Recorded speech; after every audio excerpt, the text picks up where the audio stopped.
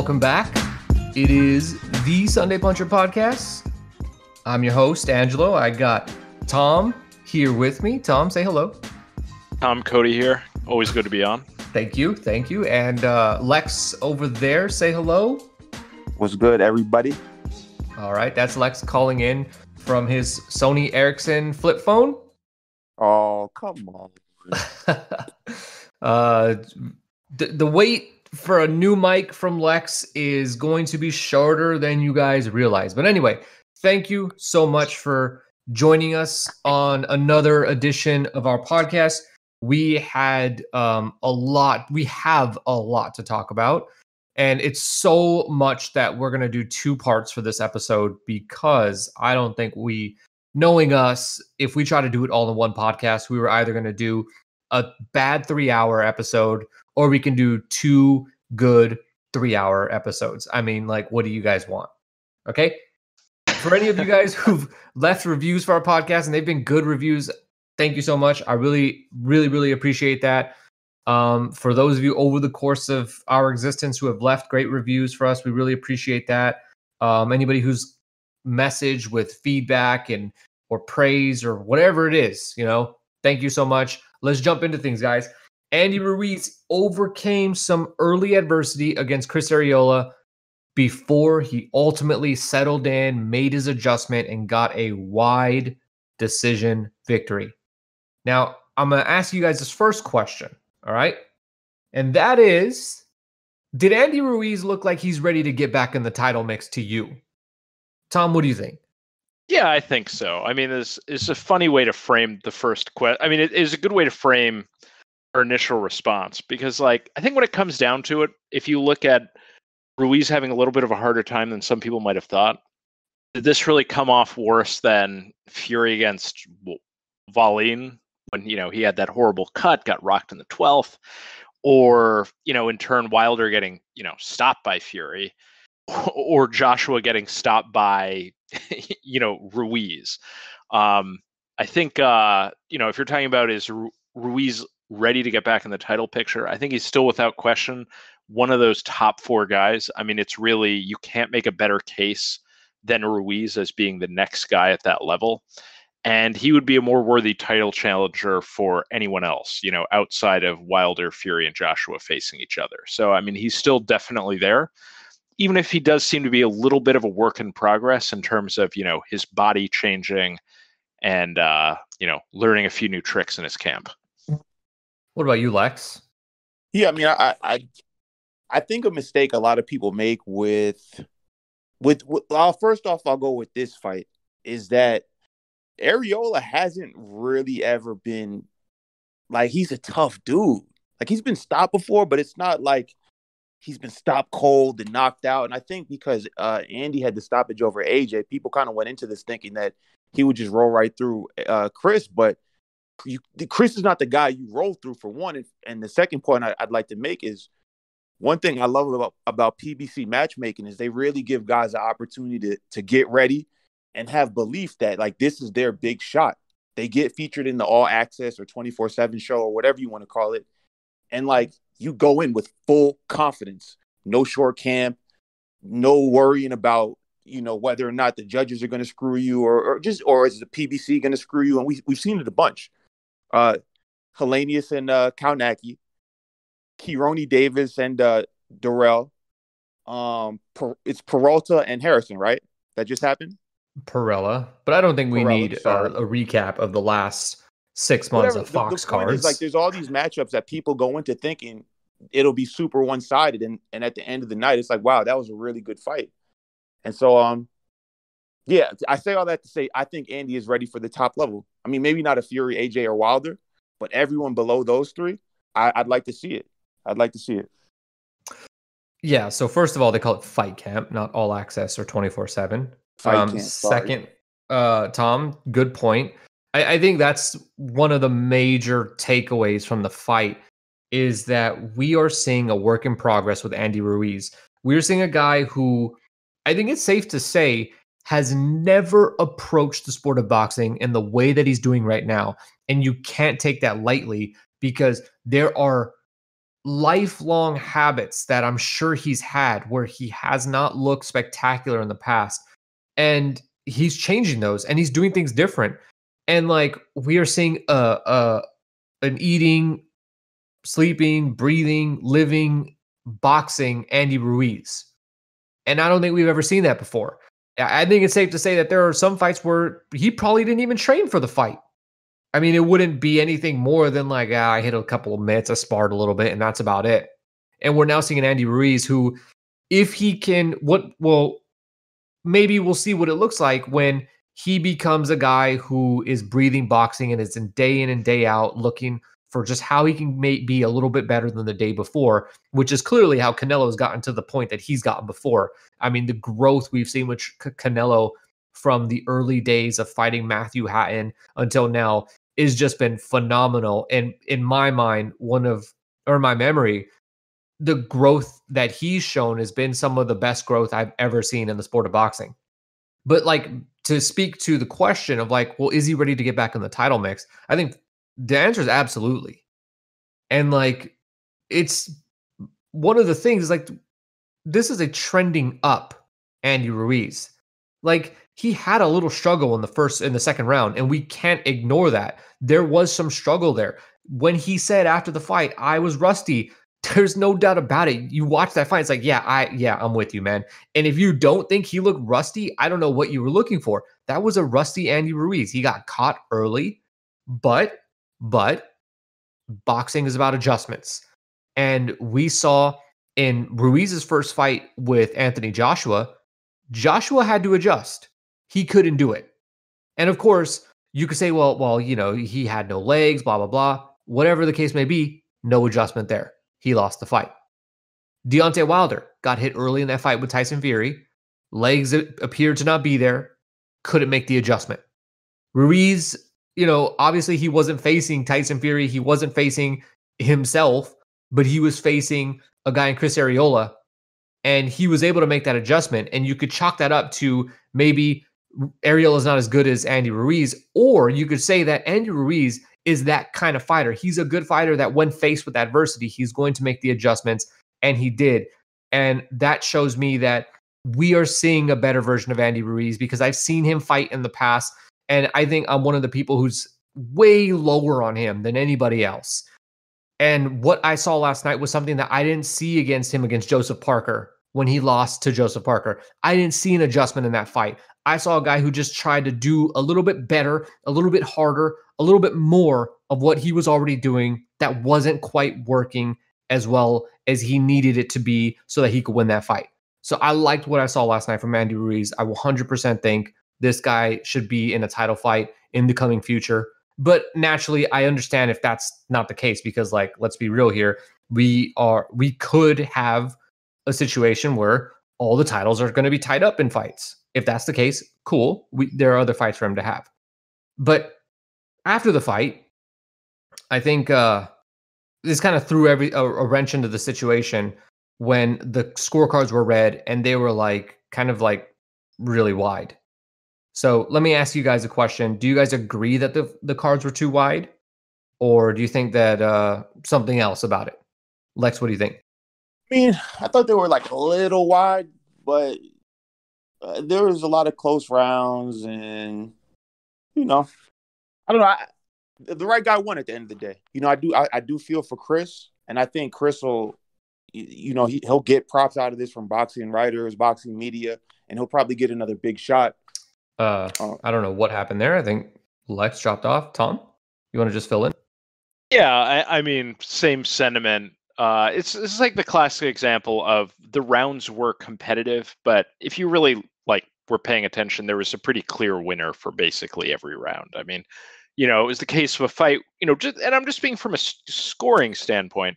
It's the case of a fight where you had a knockdown early, but the other guy was pretty much winning all of the rounds. So I mean, I think uh, on on my scorecard, I would get I gave um, I actually did score the fight uh, Arreola only two rounds, um, and I think there was a third round which I would consider a swing round when he I think it was the sixth when um, Arreola seemed to sting Ruiz again, but you know that's a pretty wide scorecard. But I, am not really surprised about like the reaction of the fans in the stand. I've gone to enough live fights and I've seen this exact thing play out so many times, where like a fight's competitive, but from a scoring standpoint, you you know we'll keep giving the rounds to the guy who is you know more decisive in the rounds.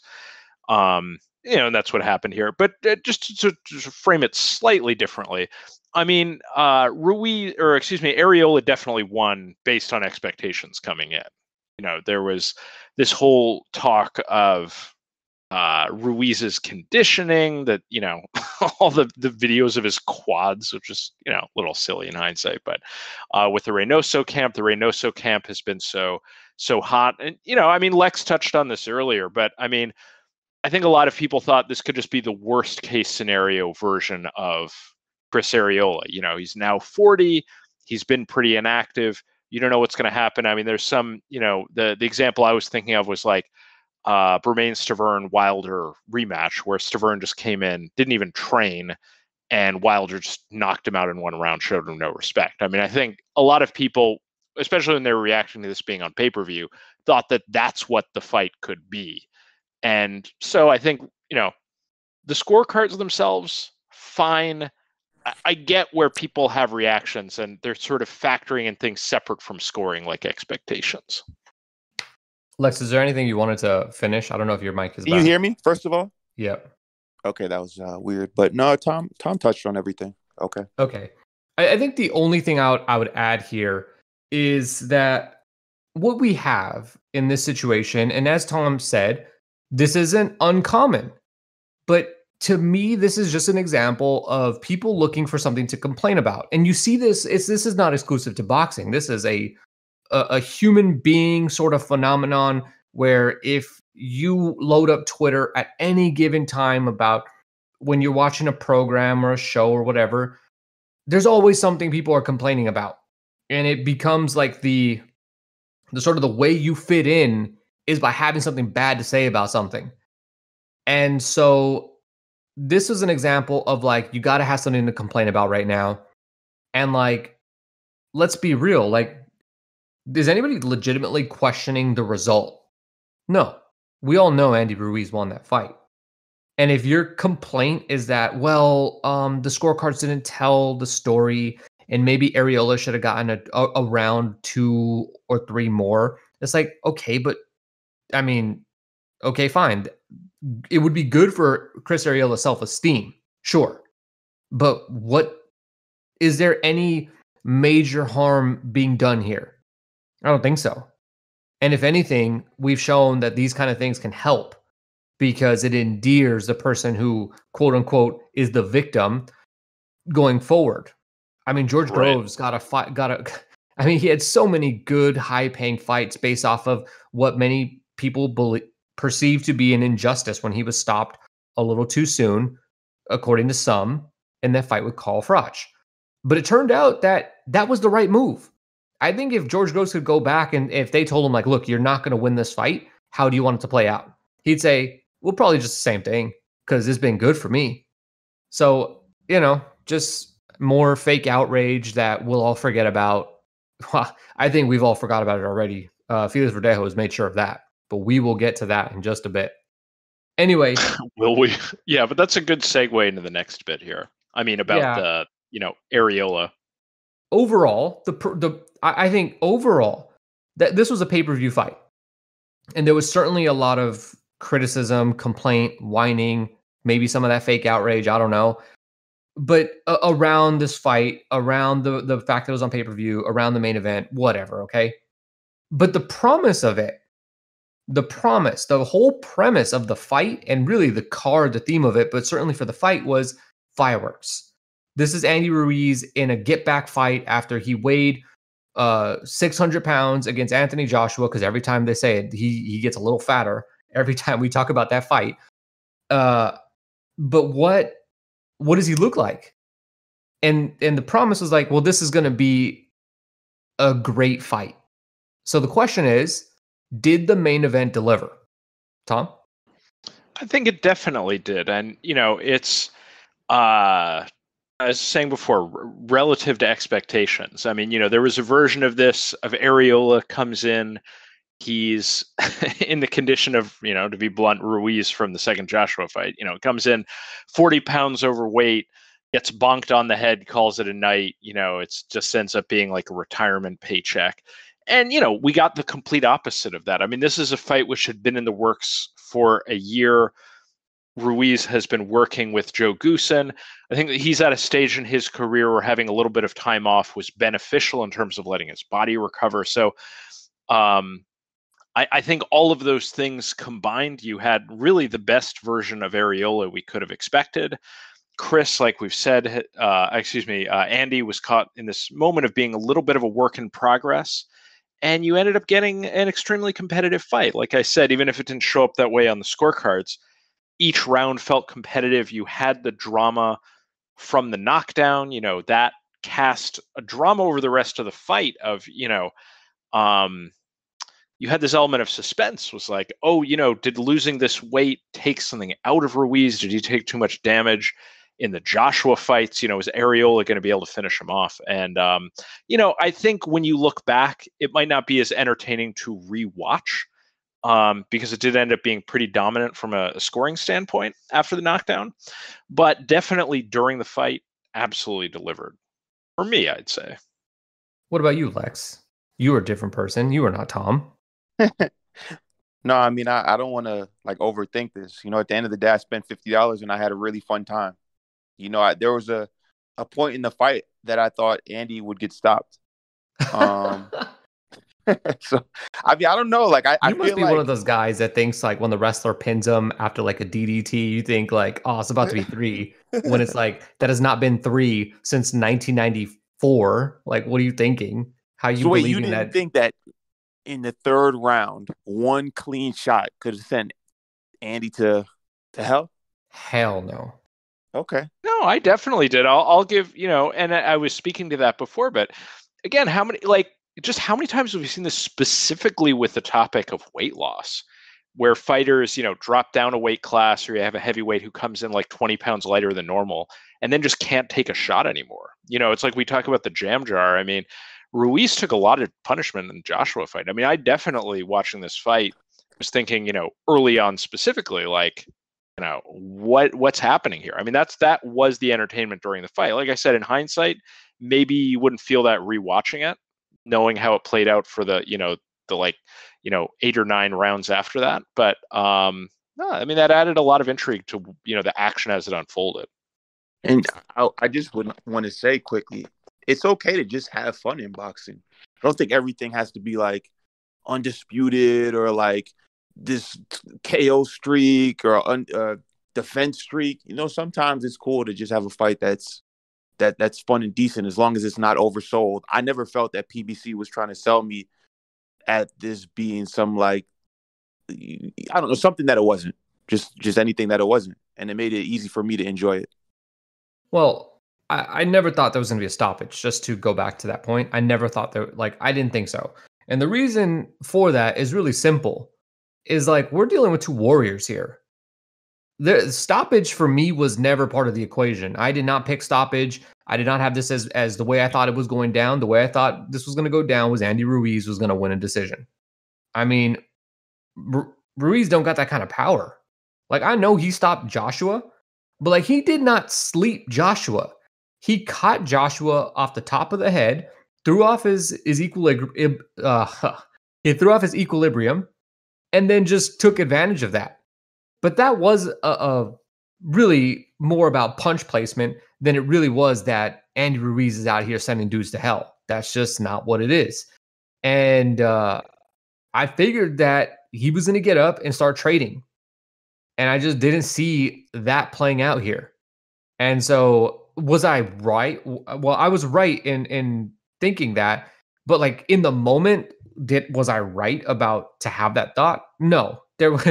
I would not sit here and say like, yeah, I'm so smart. It's like, no, I just that's just how I felt. But I, if you don't feel that way, like I definitely see your point of view. I mean, it did it. Ruiz didn't look good in that exchange. You know, when that happened, he looked real vulnerable. But in terms His of legs like, look crazy. Yeah, and Tom may be onto something when he talks about the the weight loss, but I actually think when I saw him, I was like, he didn't lose that much weight. I mean, he looks better than he did in Saudi Arabia, but like he looked like King Kong Bundy in the fight in Saudi Saudi Arabia. I don't see how it like it was going to be hard for him to look that bad again, and I don't think we'll ever see him look that bad in the ring. So I think if you take away that second round, this main event would not have delivered if the fight had played out the way it did after round three, I would say that that was actually not as good of a main event as we thought we were going to get. Like the fight overall, that just didn't deliver. But it was so good to get that second round because it added crazy tension to the fight. Like there was crazy tension already because like you have two guys who you know want to want to mix it up, and then Ruiz is just so fast with his combinations for a heavyweight. And then that second round just shows like, oh, you got to be on edge here because Andy may not be Andy. And it it really added to the fight. And it like at all points in the fight, I think maybe until about the seventh or eighth round is when you realize like, okay, I think Ruiz is comfortably in in control now. But until that point, there there was like Wilder esque tension in that fight where you just didn't know if Andy Ruiz was going to be able to keep walking through these shots that he was getting tagged with. Uh, so yeah, I, I think the main event did deliver. Um, also, I'd like to say real. I'm sorry to cut you off real quick. It felt good to have the crowd back, man. I didn't see that in the notes, and I just want to like throw that out there. Like Andy, like they were doing the Andy chants. There were fights. There were ooh and on, and it wasn't fake. Like that. That felt real good. Um, Rollins last night. So if you didn't, if you have access to our Patreon, we did a post fight, you know, real quick. Well, actually, it wasn't really quick, but it was about an hour. We talked last night just kind of like initial thoughts and stuff like that. We didn't really practice any takes. We didn't write anything down. We just we just talked. And um he compared the the crowd kind of like to the tank crowd and I actually didn't don't agree with that. I don't think we've seen a crowd like this since boxing has come back. And I'll tell you why.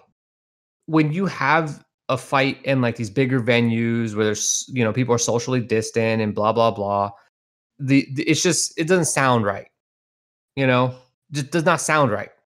And last night, the StubHub Center, now called Dignity Health Sports Park, like this is a just such a great venue for boxing. First of all, it's small, it's intimate, the acoustics are fantastic there. And there are two things we got to give credit to. Like one, the LA fans, like you know, to to to speak on behalf of my people because I live in LA. If you guys have never, you know, if it's your first time listening to this podcast, we're out here like really loving boxing.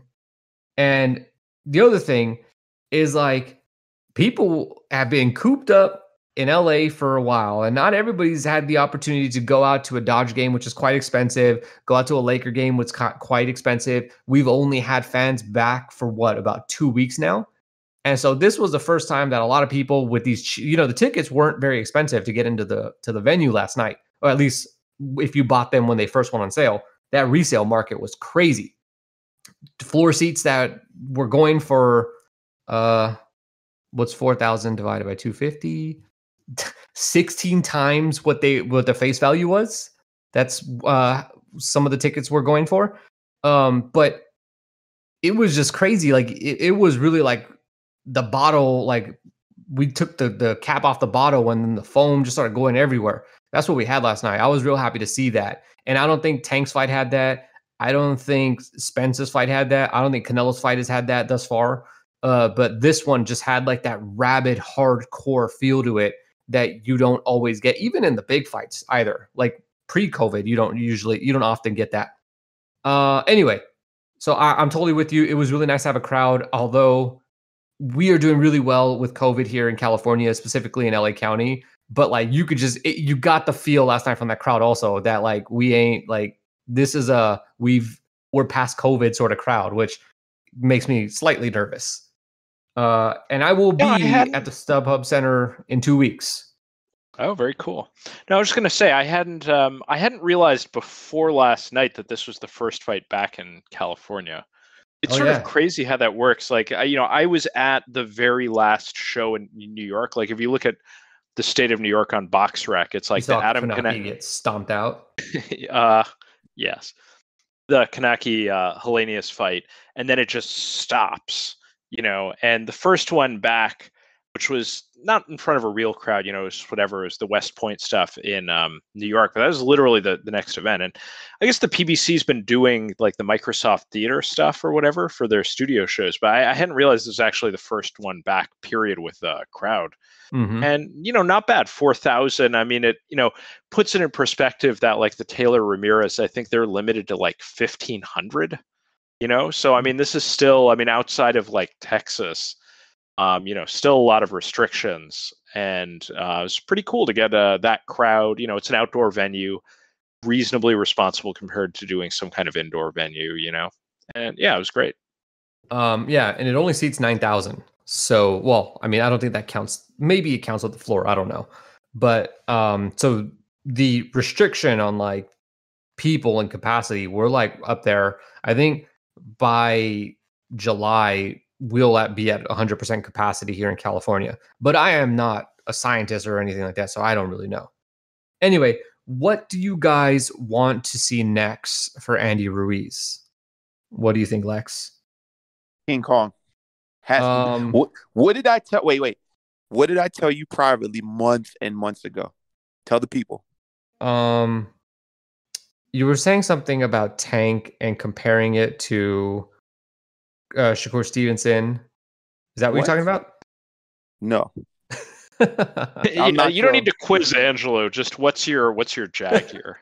King Kong, man. I want I've wanted the King Kong fight for months and months and months. I'm flying to LA if it happens. I'm not sure if everyone is excited about that fight as I am, but I love it. King Kong got a lot of love in LA the last time he fought in Staples. I think Andy is ready for Staples. Um, I'd actually like to get your guys' thoughts on that, but maybe when it's you know more time appropriate.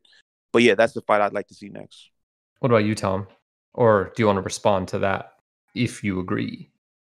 Oh, I think uh, the Luis Ortiz fight feels like a no-brainer. But I mean, to the topic of uh, that you mentioned off the start, is he ready for a title shot? I mean, um, the the Luis Ortiz fight seems like a very natural one. Um, I think it, it was interesting. I was surprised at the amount of fan sentiment I saw that said um, Ortiz would be too risky for Ruiz at this stage. That he should take more time to, you know, get used to the Reynoso, you know, system and that camp and figure out his weight. And um, I just, to me, that seems that feels like exactly the right level of threat. Um, you know, eh, this is boxing. It's a competitive sport. You want to have the risk. You want to have, you know, the sense that you don't know what the outcome is. And, you know, let's be honest. If uh, Andy Ruiz can't get by Luis Ortiz, he probably shouldn't get a title shot at one of the heavyweights, or you know, he's got to go back to work. I mean, I, I think it's a great sort of, you know, effectively an eliminator. Um, and uh, I just love to see it. It just seems like a really exciting fight where um, Luis Ortiz's strengths could play to Ruiz's weaknesses. You know, it just could be uh, could be a very interesting fight. There's a really good point you make there. That if he can't get past Luis Ortiz, he ain't he don't belong in a title shot situation. I think I, I think that's really fair to say. Um, Ortiz is that guy who, while I would say he's far better than a gatekeeper. Uh, you know, typically we'd associate like a gatekeeper with like somebody like at, at this point like a Dominic Breazeale or something. But um, I, I think it's a risky enough fight that it is actually a very sellable fight. It's doable. It's makeable. Um, the only reason why you don't do it, I think, is because you don't think Andy Ruiz is a sure bet to get past him. Now, that's not to say that that's going to be their thinking, because I think PBC has shown with their matchmaking that uh, they can be a little reckless at times uh, in terms of getting their guys beat uh, and trying to get the natural result that you would think that they'd want to have. Uh, shout out Vito Mielnicki. So, but I think it's a risky fight. I wouldn't mind if these guys fought one another. Uh, it, and to me, I actually don't want to see that Wilder fight because uh, if Wilder's not going to fight Fury again, I think I'd rather see that guy in a tune-up. I think let's, let's just make sure we still got Deontay Wilder here let's make sure that Deontay Wilder is not morphed into a guy who's scared to pull the trigger. And we have seen that so many times with guys who can punch. I mean, you guys, I don't know if you guys were fans of Randall Bailey. And if you don't know who Randall Bailey is, you know, this was a guy that was one of the biggest punchers at welterweight you'll ever see. But at some point, at some point, Randall Bailey just couldn't pull the trigger. And you sit there thinking, like, man, what why didn't this guy just let his hands go? He just couldn't do it. And so I want to make sure that Wilder's right. And you know, then the other side of it is like, yeah, but if he isn't, like you just wasted a golden opportunity. So might as well strike while the iron's hot. Fair enough. I can see that point. Uh, if you want to make that point, cool. I think that's a great point to make. And I don't have a response to that. But I, I I'm all in on the Luis Ortiz thing. There are other heavyweights that would be interesting fights, but I think this is the natural one to make, especially because Luis Ortiz is, you know, who was he last in the ring with that people are going to remember? Deontay Wilder. Well, if Andy beats him, he's got to win over Luis Ortiz, who's a guy that damn near beat Deontay Wilder, and Anthony Joshua. That puts Ruiz in a really good position. Uh, other fights that could be out there for him is like Otto Wallin. I mean, wouldn't that be a great fight? We've seen Wallin uh, get into some good fights. He had that great fight with Tyson Fury. Uh, he absolutely just destroyed Dominic Breazeale, although he didn't stop him. And the other thing about that is Wallin don't got the power, at, at least that we see at heavyweight, to like be out here smoking guys. How's he gonna do against Andy Ruiz if he, if he don't have the power to hurt him? That to me is pretty fascinating. I think on name, it's probably not a fight that people are gonna like gush over like they would for Luis Ortiz. Um, everybody wants them heavyweights to be big hitters, but like that don't really describe Ruiz and Wallin. Um, any other names maybe you guys want to toss out? Um, I have more names, but I'll get into them once we uh, spin down to Chris Arreola. Okay. All right. Well then, you know, Chris Arreola, does he deserve another prominent fight? And I think prominent doesn't mean like another pay per view. So if you think that, please like get your head checked. You mean like does he deserve to get the spotlight again? Like, sh- can he be in a headliner on a card, headline a, a Fox card, FS1, Showtime? Uh, where are we yeah, at with, me, with Chris Arreola's future? So yeah, Tom, go ahead. Let, yeah, let me roll right into this if you don't mind, Lex. Um, yeah, I mean, I just the thing I want to get into, just throwing out the other names. It's like you talk about Chris Arreola. Just look at what the landscape is at the PBC. They have, you know, Coffie, Frank Sanchez, uh, you you have the possibility of a Kownacki rematch, and you know Arreola also could potentially fight Luis Ortiz. I mean, he's just he's in in such an interesting position because Chris Arreola is a guy who had fought absolutely everyone. You know, just thinking of some of these Patreon episodes you've been doing, reflecting back on boxing from the last 15 years, and you know he had oh, fought everyone, but that was re- episode is so good, so good. looking forward to it. Yeah, we can maybe pump it at the end. Uh, you know, um, uh, promoted at the end of the the episode here. But um, yeah, I I mean, there, Luis. I mean, uh, Chris Arreola. Uh, as I said, he could have come in out of shape. He could have just you know just cashed out. This is rejuvenated Chris Arreola, and uh, you know that seems like a cliche, but you know again, he's reached a point in his career where a little bit of an, an activity uh, probably helped him. He has a great thing going with Joe Goossen, and I think there's no question that the game plan that they had coming in was able to produce that knockdown in the second round. You know, they, they ultimately weren't able to sustain that success for the whole fight, but, you know, they had a great game coming in. Arreola, Arreola was in great shape. And I think sometimes it's, you know, I mean, this was the point I wanted to make before um, about what to do with Ruiz. Like, the thing I hated back in the day with HBO was it was so transparent. You know, they had like at any given time about five A sides that they were developing, that they were trying to develop to pay per view level talent and then they would bring in opponents who you know they'd maybe give like one fight just to kind of get a little bit of exposure and then that would just be someone who was supposed to be fed to one of the a sides and it was just like such a transparent narrative you know it's like and, and what i love about you know this you know mo- uh, the sort of modern landscape of boxing where you have you know the pbc started this and this is expanded with top rank and you see this in england as well definitely is like more of just these ecosystems. It doesn't all need to be about building to one pay per view. Um, you know, I think Chris Arreola is a guy, like I said, he had fought everyone from the last generation, and now you have all these fresh fights. Like it doesn't need to be about Coffie fighting Arreola and Coffie beating Arreola so Coffie can fight Wilder or Ruiz. Like maybe Arreola would win that fight, and that's not the end of the world. You know, I feel like that could be an entertaining fight, and that's you know, uh, its its own you know positive thing like that that produces its own value again talking as well about the frank sanchez fight i mean all these fights I, I mean, it's funny because it just used to be. I mean, Chris Arreola used to be the guy who would fought absolutely everyone, and now it just feels like he has a, a wealth of options. Um, Lex or Angelo? Um, I think 100% the answer is yes, that he does deserve another prominent fight. And like the thing to really understand here is what does he bring to the table? Because at the end of the day, like there are tons of fighters across any division. This is not restricted to any one promoter or network. When you size up guys to fight on TV, you got to look at what they bring to the table. What does Chris Arreola bring to the table? Well, look, let's take a guy like Dominic Breazeale. What does he bring to the table? I'm going to open this up to the floor. Guys, what does he bring to the table? There's only one thing. So if you don't say this one thing, I'm going to slap the hell out of you. I assume you mean power, but nope. Um, he don't even bring that. He is a big guy. Now. What's that? I said common opponents.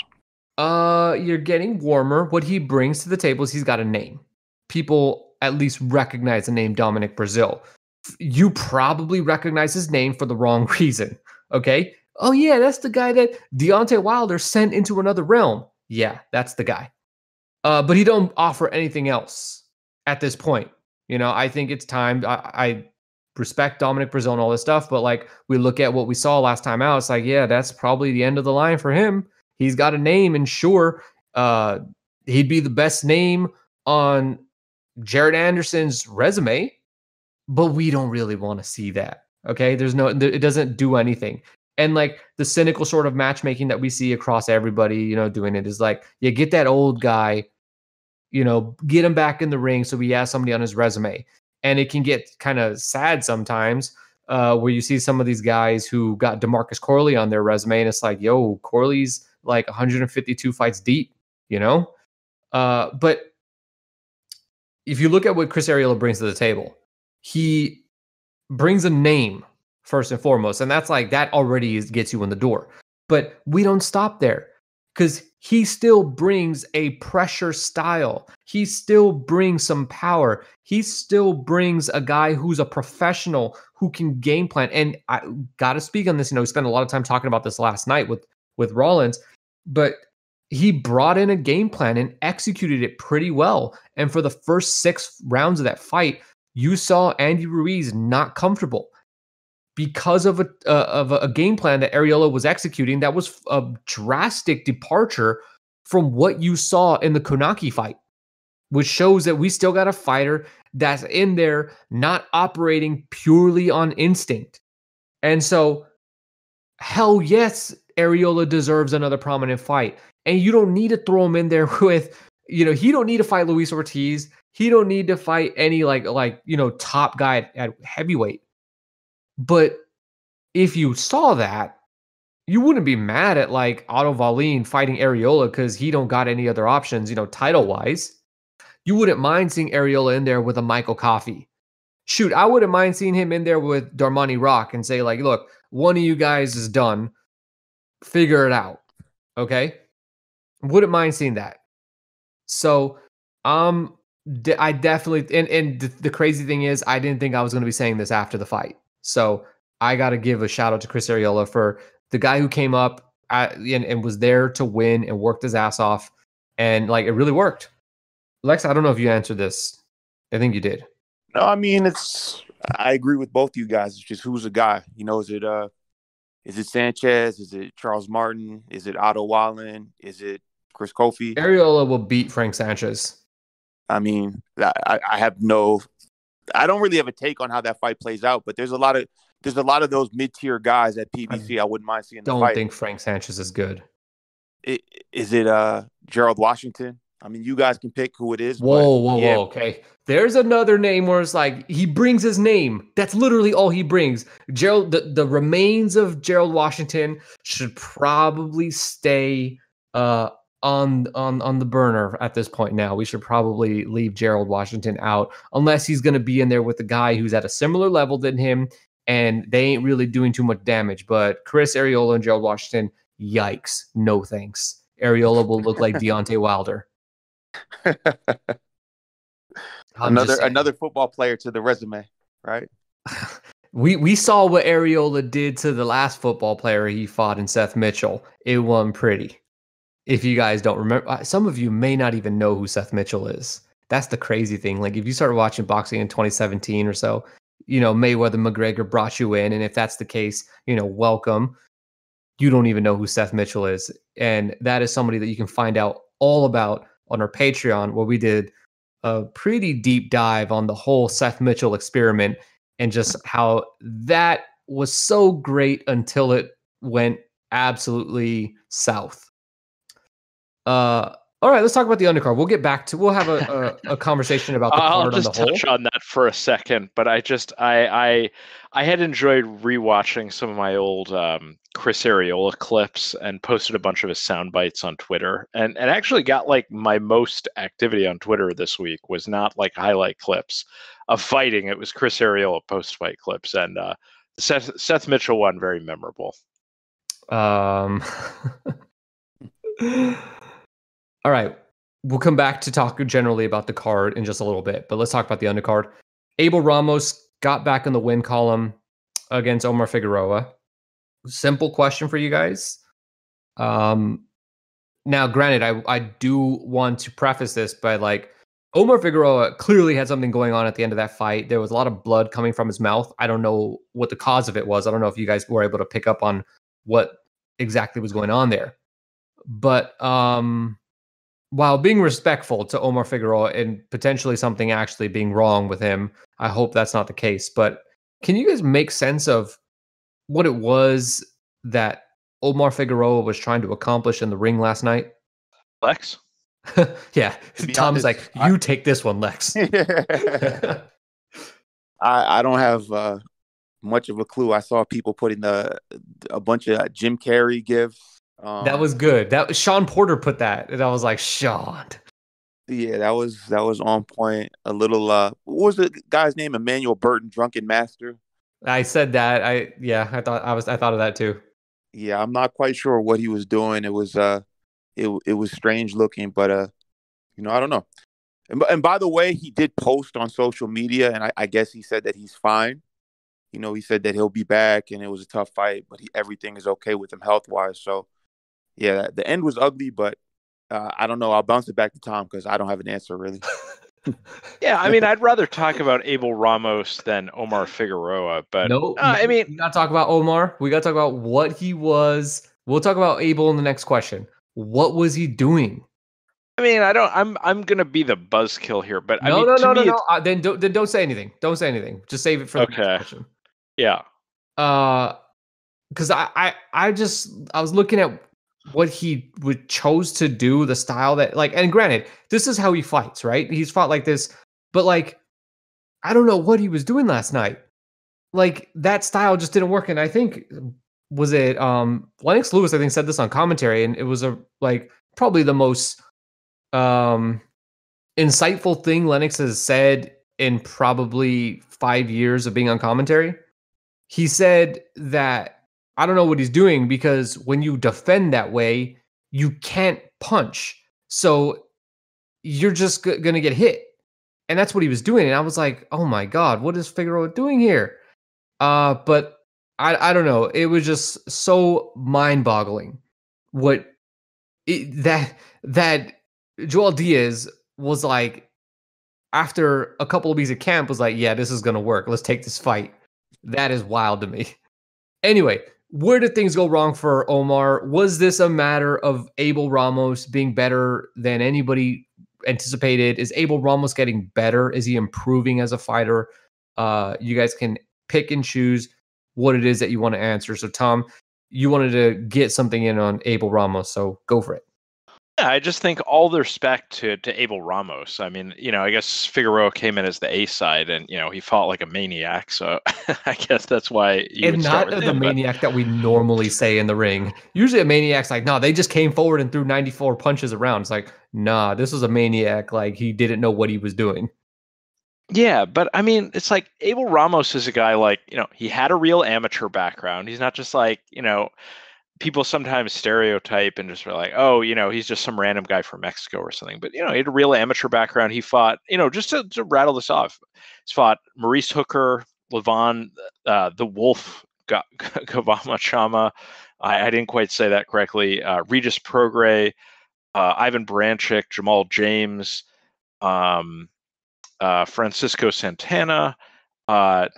Brian Perella in that you know weird stoppage situation, and then just prior to this had a, a split decision loss to Yordenis Ugas. You know Ugas is probably fighting Spence next, so um, I, Ramos is just a guy to me. I mean, he's really established. He's he's he's not you know he's not in the top three. He's not in the top five at 147, but you know I, I think he's reached the point where people finally realize he's deserving of respect and he's a pretty dangerous guy. You know, um, the the thing I think about with him is like, you know, think of like the hard fight that Keith Thurman had with Josesito Lopez. That was like, you know, harder than expected. I mean, I, I feel like we're sort of at the point where um, I, I would like to see Ramos get like a big fight. I mean, I think if he fought Sean Porter, I think that's actually like an interesting competitive fight. I mean, Porter would be the favorite, but I'd like to see what happens in that fight. Same thing with Danny Garcia and Keith Thurman. I mean, we're sort of talking about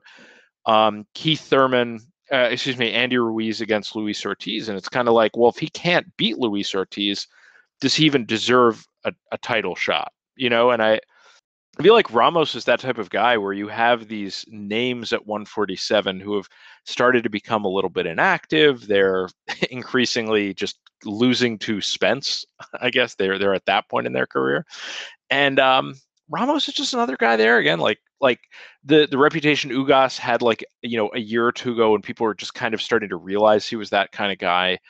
Um, again, Josesito Lopez, I feel like he's built that reputation now, and um, yeah, I mean, I just I think I think I think uh, we should get you know some other bigger fights with Ramos. And I think the positioning here was meant to set him up for that. I mean, he came in as the favorite.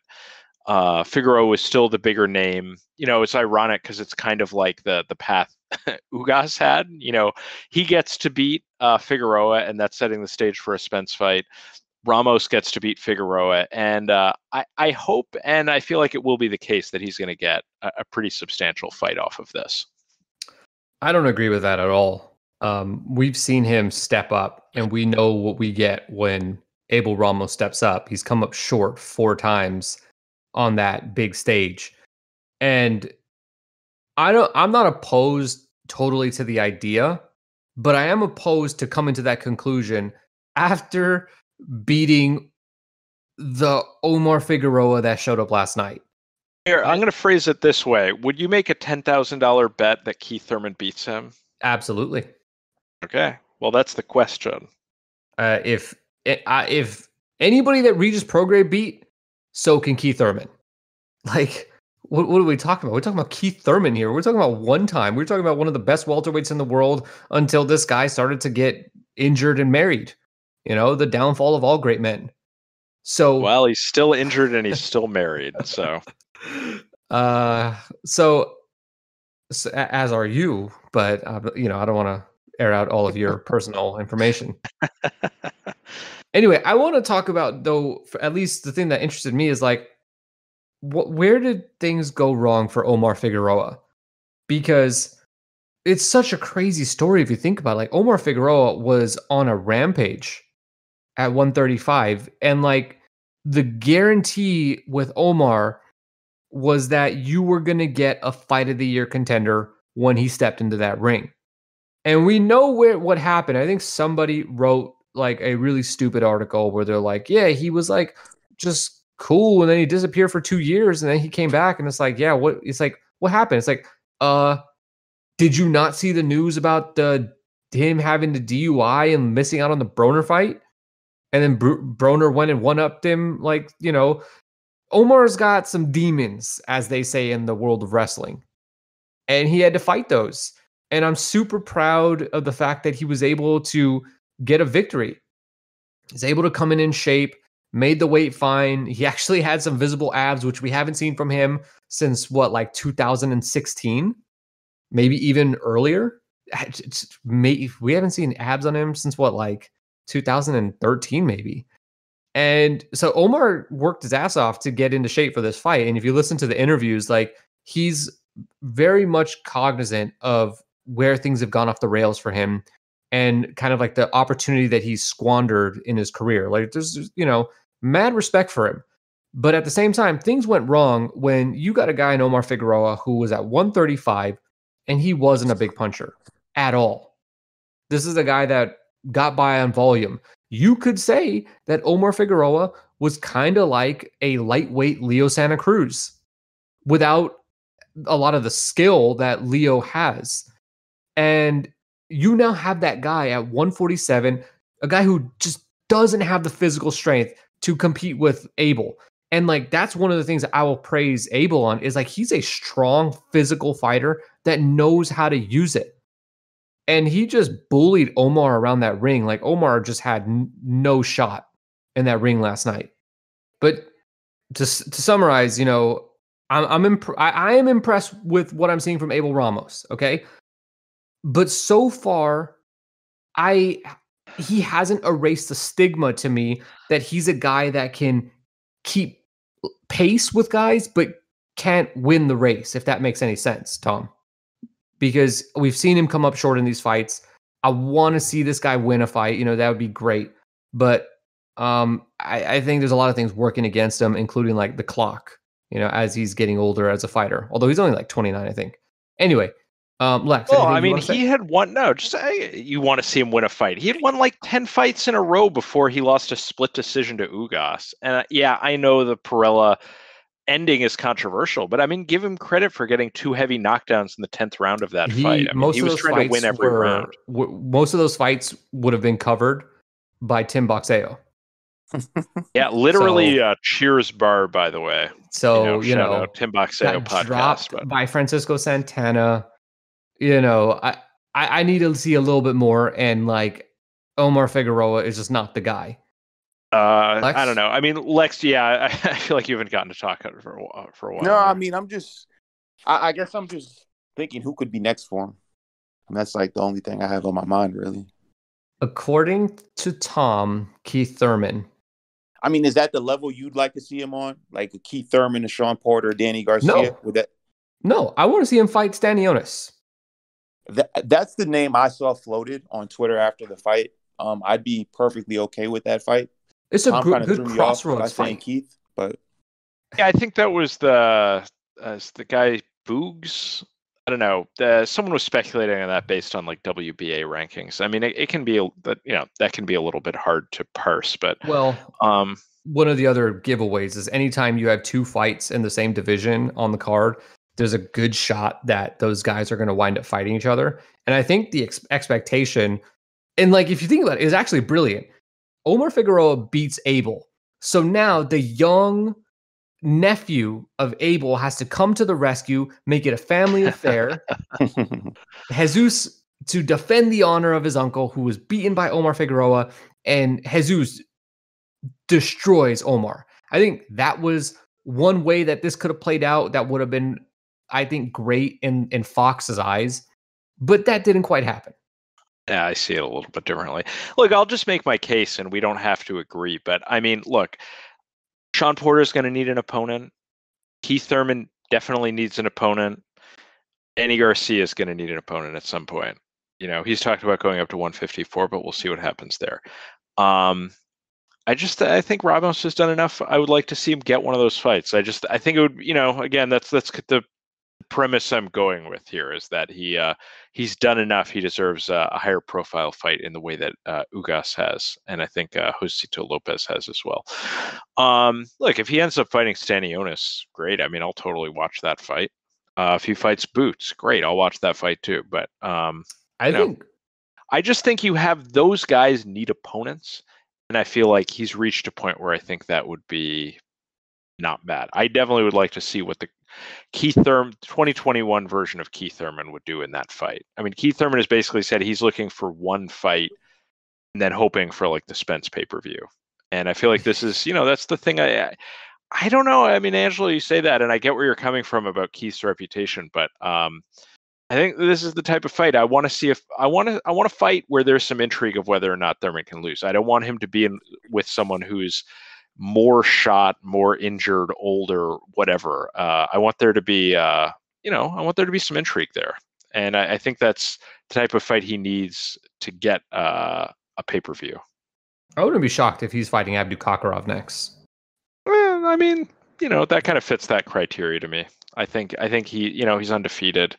Uh, again, the point is not that he would win, but I feel like I, I want a fight that's interesting enough that there are people on boxing Twitter who hate Keith Thurman saying that the opponent's going to win. that's the energy I want. Um, all right, let's move on to our next fight. Sebastian Fundora got what I think was an ill-timed stoppage against Jorge Cota. Now, notice the words I used there. I said ill-timed because my stance is that this wasn't necessarily a bad stoppage. It was just at the wrong time. Like, if he would have stopped it five or 10 seconds earlier, I don't think anybody would have complained. And likewise, if you'd waited five or 10 seconds, everyone would have been fine with it. It would have been a perfect job, maybe even a little too late at that point. But ultimately, he just picked the wrong time to stop it. But I think everyone can agree that that fight was going to need to be stopped in like very shortly. Uh, do you guys agree with that? Absolutely. Lex, Lex, you want to? do you want to elaborate? No, I mean like like he was. this he, is a podcast. I, am not. no, my you. bad. I'm not I, I just police thought it was here. like okay. yes no. Listen, Cota was one big punch from being stopped. Um, I think the way he fought excited people. You know, he kept tagging Fundora, and it's like he he looked like he was loading up for one big shot, and maybe he'd land it, maybe he wouldn't. But at the end of the day, it's like you want this guy to get home safely. So I think the stoppage was was right. It's just uh, you know, people are bloodthirsty at the end of the day. That's all that was. Cota fought that fight like he was Jermell Charlo. Like, bro, you don't have that kind of power. Relax. Okay. You're not gonna one punch Fundora. Especially after like the first couple landed. Because like, he did land a lot of those overhand shots, but like after the first couple landed, I think he should have realized, like, all right, I get this, I get what's going on here. This guy, he's gonna, he's, it's gonna take more than a few to put this guy away. Uh, anyway, Tom, do you think like, uh, how do you think that stoppage affects Fundora? Oh, I think he'll be fine. I mean, I, th- I thought it was interesting. I mean, he didn't skip a beat during the post fight. I mean, he basically just gave the speech he had in his head uh, about, you know, basically, I knocked him out. I'm moving on to the next fight. I mean, he, I don't think he even like thanked Kodo Cota for giving him a hard fight or or anything like that. I mean, it was sort of funny. Um, yeah, he'll be fine. I mean, look, uh, he's already at the point. He's not like what's right saying this? Like, this isn't like Vergil Ortiz or Jaron Ennis, where after their fights, people were like breaking down every single time they got punched in the fight. Um, you know, he's already at the point where it's the question is kind of like, is he just a complete meme fighter? or is he a contender? Like, you know, I, I don't think he he's being held to that high of a standard. I definitely didn't like the amount that he got hit, but yeah, I mean, I totally agree with you guys. It was, you know, good stoppage, just bad timing, and you know, it's like reminiscent of Ward Kovalev too a little bit, where like the last punch to land before the stoppage was like a low blow, but Kovalev at that point had a was hurt and had abandoned the fight. So it, you know, it's a good stoppage, but it's kind of an embarrassing timing. Yeah, that, that's that's well said. I think at that point we know that um, we knew what was going to happen. Kovalev was about to get seriously hurt if they would have allowed it to just keep going on. Um, what was I going to say? Uh, part of me thinks, and and Rollins said this on the podcast last night. Part of me thinks that we Fundora for like his star needed that stoppage and he needed it to matter. He needed to look like a way like the type of fighter that's like okay, he's six six or six seven, whatever, and he weighed in at 152, and he also demolished Jorge Cota and did it in the package where it is almost impossible to imagine how anybody can have a game plan for him because everybody's going to look like a child when they stand next to him. And he didn't get that. And like I think it would have did a lot for him if he would have done that. But I also think like Fundora is like such a soldier because he after the fight was just like they asked him like you know title shot. He's just like I don't know whatever my promoter says. Oh, what, what? Maybe we're like two years away. I don't know. Maybe one. It's just like this guy's like no no no. I'm just a fighter. I show up. I fight. That's it. And it is a this is a different vibe we get from Fundora than we are typically getting from fighters and, and all that. So let's see. Uh, actually, I just responded to the next question, but I guess I'll open it up to you guys. But like, do you think he made the kind of statement that he needed to make as like a young rising contender? Other, otherwise said, do you agree with me or not? Yeah, I mean, I think the statement was fine. You know what I mean? Like he he was about to sleep Cota. You know, the ref stopped it maybe a bit prematurely, but he he did what he needed to do. I think people saw weakness, and we'll we'll continue to wonder about those weaknesses until they're exposed. But in the meantime, he's a lot of fun to watch, and he shows great promise. So, um, yeah, I mean, I, I want to see him again. Yeah, I mean, look, his thing is not that he's unhittable. I mean, his thing he's he's an action fighter and a pressure fighter and he reaches the point in a fight. You know, look, I totally get what you're saying from an aesthetic standpoint. It would have been better if uh, he had landed that last punch and Cota had gone down on his face, but it's not like, you know, that's not how boxing works. It's not the ref's job to you know he's not like producing like a music video or something like you know that's that's just that's not really like the point. Um, it, you know, yeah, that would have been better, but so goes boxing. But I mean, look, Fundora is a guy. I went back and rewatched a bunch of his fights leading up to this, and we've talked about how he looked so good against Nathaniel Gallimore and Habib Ahmed.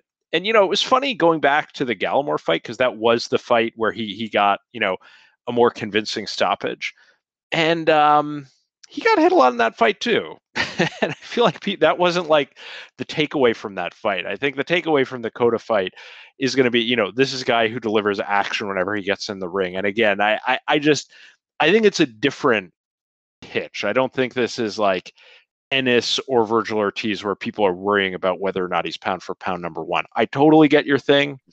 And I think you were saying you, you and Rollins had discussed this. I, I, I did listen to the um, the reaction pod, but um, just just as a note. But um, uh, yeah, that that you definitely you can see the pitch they'd like to have that he's so big and tall, and how could anyone even fight him? But that's that's just again, it's kind of not his style. He's a pressure fighter. He gets hit. He's he's never going to look completely invincible. And kind of to to seg to the next point, it's like what really starts to matter with him is who he's actually beating. I mean, just when it comes down to it, he's beaten enough fringe contender guys at this point. I mean, it's valid to consider him in the top ten and a contender. And again, it, it, it doesn't look like some of the other prospects that are coming up, but at a certain point, he's actually just racking up wins that are pretty nice. Yeah, and if you keep winning, you know, you will rise the ranks of the sanctioning bodies. I think what's going to be hard for him is getting matchups. Cuz like although he shows weakness, he looks like a really tough fight and I wonder if you don't have like one punch KO power, like what what's the game plan for him really? Like outbox him? Like he just marches right. forward and like just rains punches on you. So I don't. I'm very. I have a name. I mean, I don't know what you guys would think, but I. I think. Brian well, let's let's parse this point for a second a little bit more because I think on. that. Did you say Fundora versus Perella? Yes. What's wrong with you?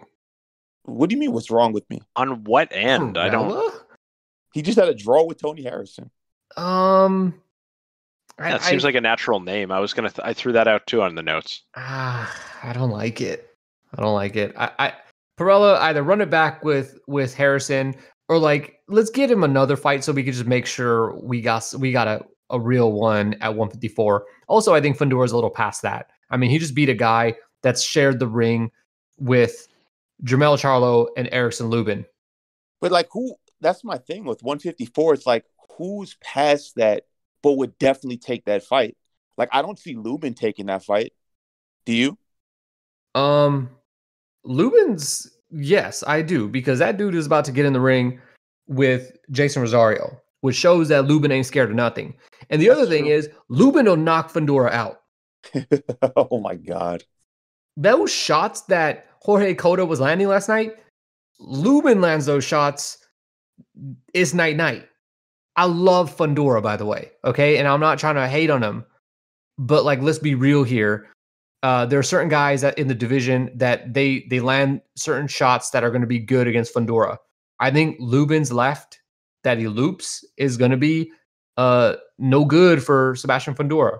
Jermell Charlo, uh, we, I think I don't know if you guys heard this. Somebody asked Jermell about Fundora, and he said uh, it would look like the Ann Wolfe, uh, that Ann Wolfe fight, oh my god. and he's absolutely right. I think uh, he would loop a shot that would eh, well. I keep saying looping a shot. That's really the only way most of these guys are going to land a punch on Fundora is they got to throw some looping like overhand shot because he's so big.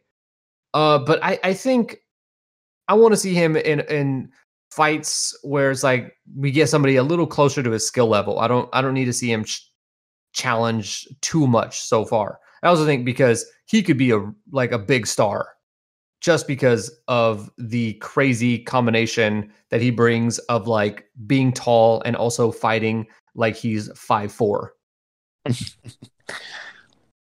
mean, my my thing on this is like, you know, again, it's like when we judge prospects, we hold them to a higher standard than their opponents. But I mean, like last night, again, he got clipped, but it's like, would you rather be Fundora or Cota? I mean, Cota was just getting the absolute shit beaten out of him in that Max fight. Kellerman here. How's your herpes?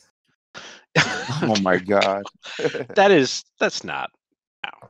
You don't think it's herpes? What is it then? Kellerman. It's like Yeah. well discussed. He has like a scar from uh yeah, that's no, that's like that's Mm. part of his whole thing. If you've ever read a profile on Mm. Kellerman. I, I don't want to talk Mm. about this right now. You want to talk Um, about your herpes? dear lord. No, but um Lex it's like- wants I mean, it's- Fedora to fight Omar Figueroa next. no way. No, but I oh my god, I've been trying to get this point out for five minutes. No, but look, um Fundora is an interesting thing again because it's like we hold prospects to a high standard because you're trying to extrapolate like okay based on this fight how would he perform against a higher level opponent but i mean again it's like who wants to get in there with him i mean it's not necessarily okay you can say that you can argue why a certain fighter might beat him but even if they beat him it's going to be a tough physical fight um the the main thing that i think everyone was thinking is just he got hit a little too much i'm you know Right. I mean, even if he's a physical pressure fighter, gets hit sometimes. Even by that standard, he got hit too much. And you know, we've seen how this story ends. I mean, just you know, we were talking before about Adam Kownacki. He was he previously was like, you know, iron chinned. He'd walk through anything, and then he'd he'd you know walk guys down. And uh, you know, then he got knocked out by Robert Helenius. You know, we saw Andy Ruiz walk through hell with Anthony Joshua and then got knocked down by Chris Arreola. You know, that might end up being a bigger issue or not. We don't really know that, but um I I just I don't want to see Fundora who's 23 getting hit that much. So I, I that's the main thing I'm thinking. I definitely you know, um, to sort of cap off the whole topic of Fundora, if if they said like Fundora versus Tony Harrison or Fundora versus J Rock, like I would buy those fights on pay per view. I mean, how fucking awesome would those fights be? That wouldn't necessarily be the best thing for his career, though. Like as a fan of him, I definitely wouldn't mind to see him take maybe two fights at a little bit of a lower level and see see if he can tighten up his game a little bit before he puts the foot on the gas pedal with his career. Let me ask you guys this question. All right. Do I want you to give me a number? 100% confident, 0% confident. Okay. You guys clear on the parameters here? Yes. Tom? yeah. All Oh, right. Lord. How, what, what number confidence are you that Fundora beats Jarrett Hurd? I love the question. Shout Hurt's going out. up to 160 though, so I'm passing on. that. No, 154. There's some there, there's a lot of back and forth about that, and you're trusting the reporting of somebody who's uh, famously inaccurate. Okay, I thought that was pretty well confirmed. Um, um I would say 100% confident. I don't even confident need to. that Fundora beats Jarrett Hurd. That's a ten thousand dollar bet. I, that I love Fundora it. beats Jarrett Hurd. I'm. I love it. you're it. 100 percent sure. I love it. He's he said ten thousand dollars. Uh, Tom about you guys to make a lot of you guys fight? broke. You know who he's training with right now? What what the what do you think is going to look like in his next fight? We shall soon see, and we will talk about that in, in a little bit. But uh, Lex, you, you got to give your number here. Forty.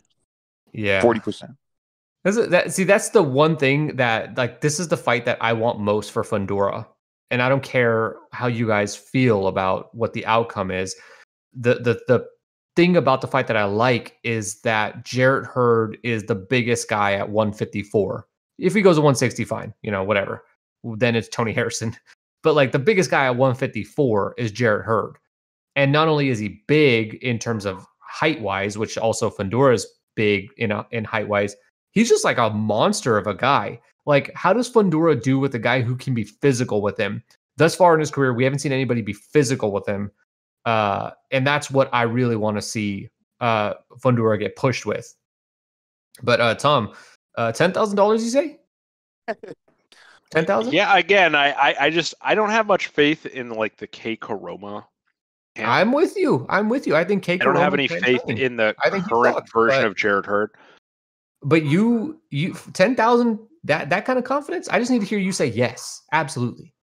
I already said it. All right, you just got you know just want to hear it one more time for for the listener, so they just know that if you got 10k in the bank and you and they make that fight and you're trying to double your money or go broke, I don't know, Tom's your guy. I didn't say one to one. I said uh, based on whatever the odds are. So, but anyway. all right, he's edging.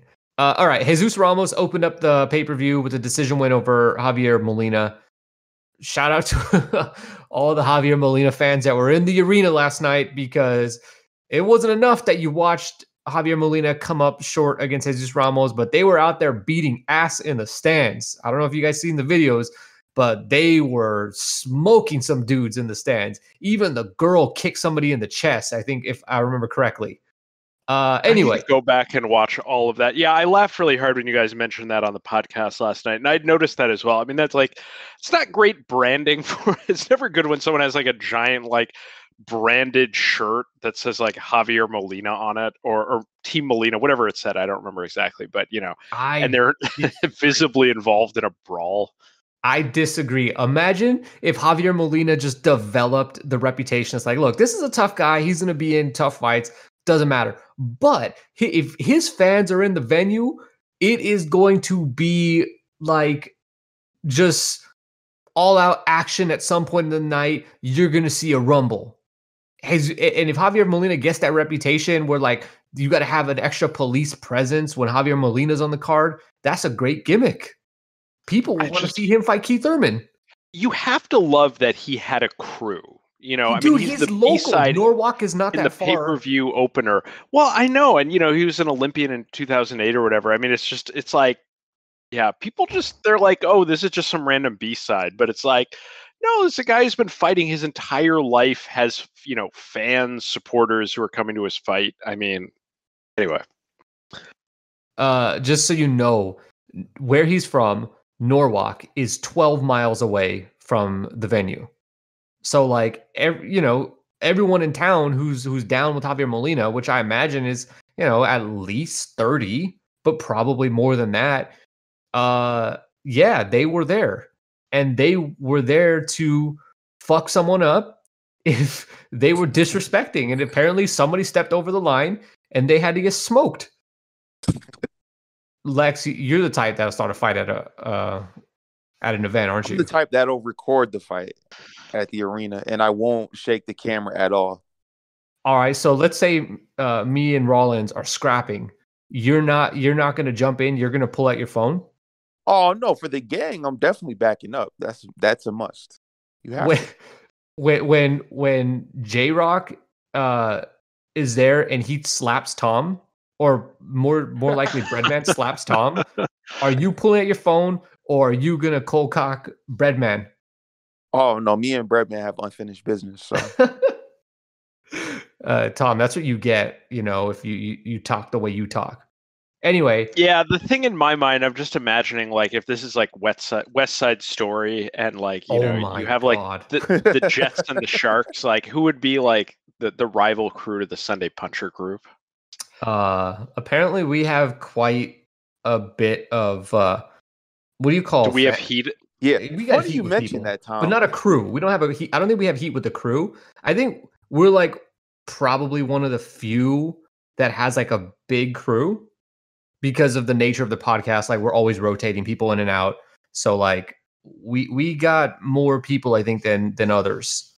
But I don't know. I don't think we have like like villains or not villains, rivals. So like we're that. like we're the version of like the man who knocks. We're the podcast crew who knocks. what the like f- what? like what is that? it's a Breaking Bad reference. Come on. I, I like- don't remember that. What is that? The well, anyway, it, it just means like you don't need to worry about the scary guy coming to knock at your door. Like we're the one who's coming to knock on their door. Like I'm, Mm-hmm. I'm saying, you know, you're talking about we got the big Sunday puncher crew. I'm saying like All right, we don't need to worry about someone rolling up on us. Anyway, this Tom's is got this, the Breaking Bad reference. For everyone else, we're this Marlo's crew, hypothetical okay? is getting we are too Marlo's drawn out. crew. Let's talk about uh, uh, Jesus Ramos. I'm Marlo. Uh, Lex. No, no. Tom, you're Chris, and Lex is Snoop. Oh, I wanted to Chris. the disappointment immediately on his voice. He's like, "Oh, how what?" Uh, is Rollins Michael? I like that. I like that. Uh, anyway, did Jesus Ramos take the next step as a prospect? Did you see what you I, I just, by the way, I just have to say, at least I got away without being called like the Ziggy. I don't know. I'm trying to think who's like the biggest dud on the wire. uh, well, depends on what season you're talking about. If we're Marlo's crew, unfortunately, you can't be Ziggy. But if we were the Sobotka crew, yeah, then you're Ziggy. well, yeah, I was just talking about the whole show, but okay, yeah. If we were the if we do the whole show, then uh Lex is Valchek. Valchek. You guys are getting too deep in the wire for me. I watched the wire like ten years ago. Oh, you, you have you never rewatched it? Oh my god, you got to get on that. No, I just I watched it once straight through. W- was it when it came out or It was actually that's not exactly right. I watched it. Boy, again, are we uh, off on a tangent? I think I watched the first and second season right before the third season came out. So then I think I watched the third season onward, like as the episodes came out. And I've actually never finished the final season because it was just horrible. uh yeah, yeah. Not not good in the context of uh today's news. Um but yeah, I think uh I, I think I've I've settled it that you and Fred are Herc and Carver. Anyway, Okay. uh did did Jesus Ramos show you guys what you needed to see last night? Lex. Yeah, for sure, man. He looks really, really good. Like really mature performance. I was kind of hoping that he'd get the stoppage, but it's not a bad thing. You know, it's good to get the rounds in and just uh, continue to build confidence. So yeah, I, I like I like everything I saw with him. I look forward to seeing him again. Not sure against who, but What about Angelo? you? Tom? What do you mean? I go I, I go when I want to go. okay. Um, no, I, th- I thought it was great. I mean, on paper, Molina was uh, similar to uh, Fundora. I was saying, I was, I've been, I rewatched um, all of uh, Jesus Ramos's fights. I mean, he has like a pretty easy career to rewatch because basically at a certain point he, he went with the PBC and like you can watch like his last ten fights. So um, And most of them are early knockouts. he's he's had a mix. Um, I think he went uh, six rounds prior to this was his longest fight. Uh, he was fighting um, some like Eastern European Olympian guy, so he's he's stepped up a little bit. It's not like um, uh, Berlanga or, or as Timothy Bradley says, Berlanga.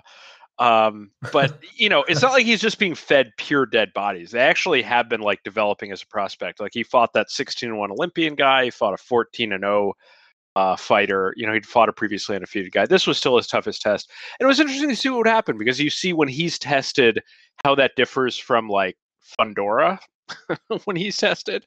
And I think it's interesting because I think coming in, the biggest thing people said about Jesus Ramos was that he was a power puncher. And I think it's interesting here. I'm sort of reminded of uh, the Keith Thurman episode you did uh, on the debuts on the Patreon feed. Um, you know, it was like he, the, the whole sales pitch on Thurman was that he was a power puncher and it really ended up being like you, start to see even in that fight the traits that allowed him to be like a world level fighter was like his patience, his movement, uh, that he was able to set up power shots like clean scoring blows. In that fight, he got a knockout. In other fights, you know, those are just scoring punches. And that was really interesting seeing how this fight played out. You know, when he had his toughest test, it was really more about um, the thing that challenged him more was trying to find Molina who was able to be elusive and survive. Um, he really didn't get hit in the fight. You know, he didn't need to worry about the defensive side of things. And again, thinking of uh, comparing to, to like the Berlanga, you know, Berlanga definitely was like, you know, getting hit flush, was whiffing big shots. And um, you know, it was interesting. We we we definitely learned more about Jesus Ramos, and he still just looks like you know the sky's the limit for him. I mean, uh, you know, the one question I have, which I don't think was really answered, is what the deal was with his weight, because I thought he was firmly campaigning well, at 147 and this was at 150 so i don't know if this is look at him? My god the guy's barrel chested. Well no tom real quick i watched the um post-fight interviews of you oh know, you did everybody. i haven't watched those okay. And i think he said that he got sick during camp and it made it difficult to cut the weight and so they just renegotiated I, you know, I was wondering if that's what it was, if there was sort of a one-off thing, because that could have even happened for Molina, because Molina actually weighed in heavier than he did. So uh, I'll, I'll, check that out. Okay, so that's interesting. No, but it makes a big difference, though. You know, if, is he a 147 with that frame, or is he? Because by the if he goes up to 154, he's not really big for the weight class anymore. That's you know. Um, but yeah. Anyway, um, your thoughts, Angelo? Um, look, he's still really young. We are dealing with a 20 year old who I mean, if we look at it, like he's only got two two years really of legitimate seasoning.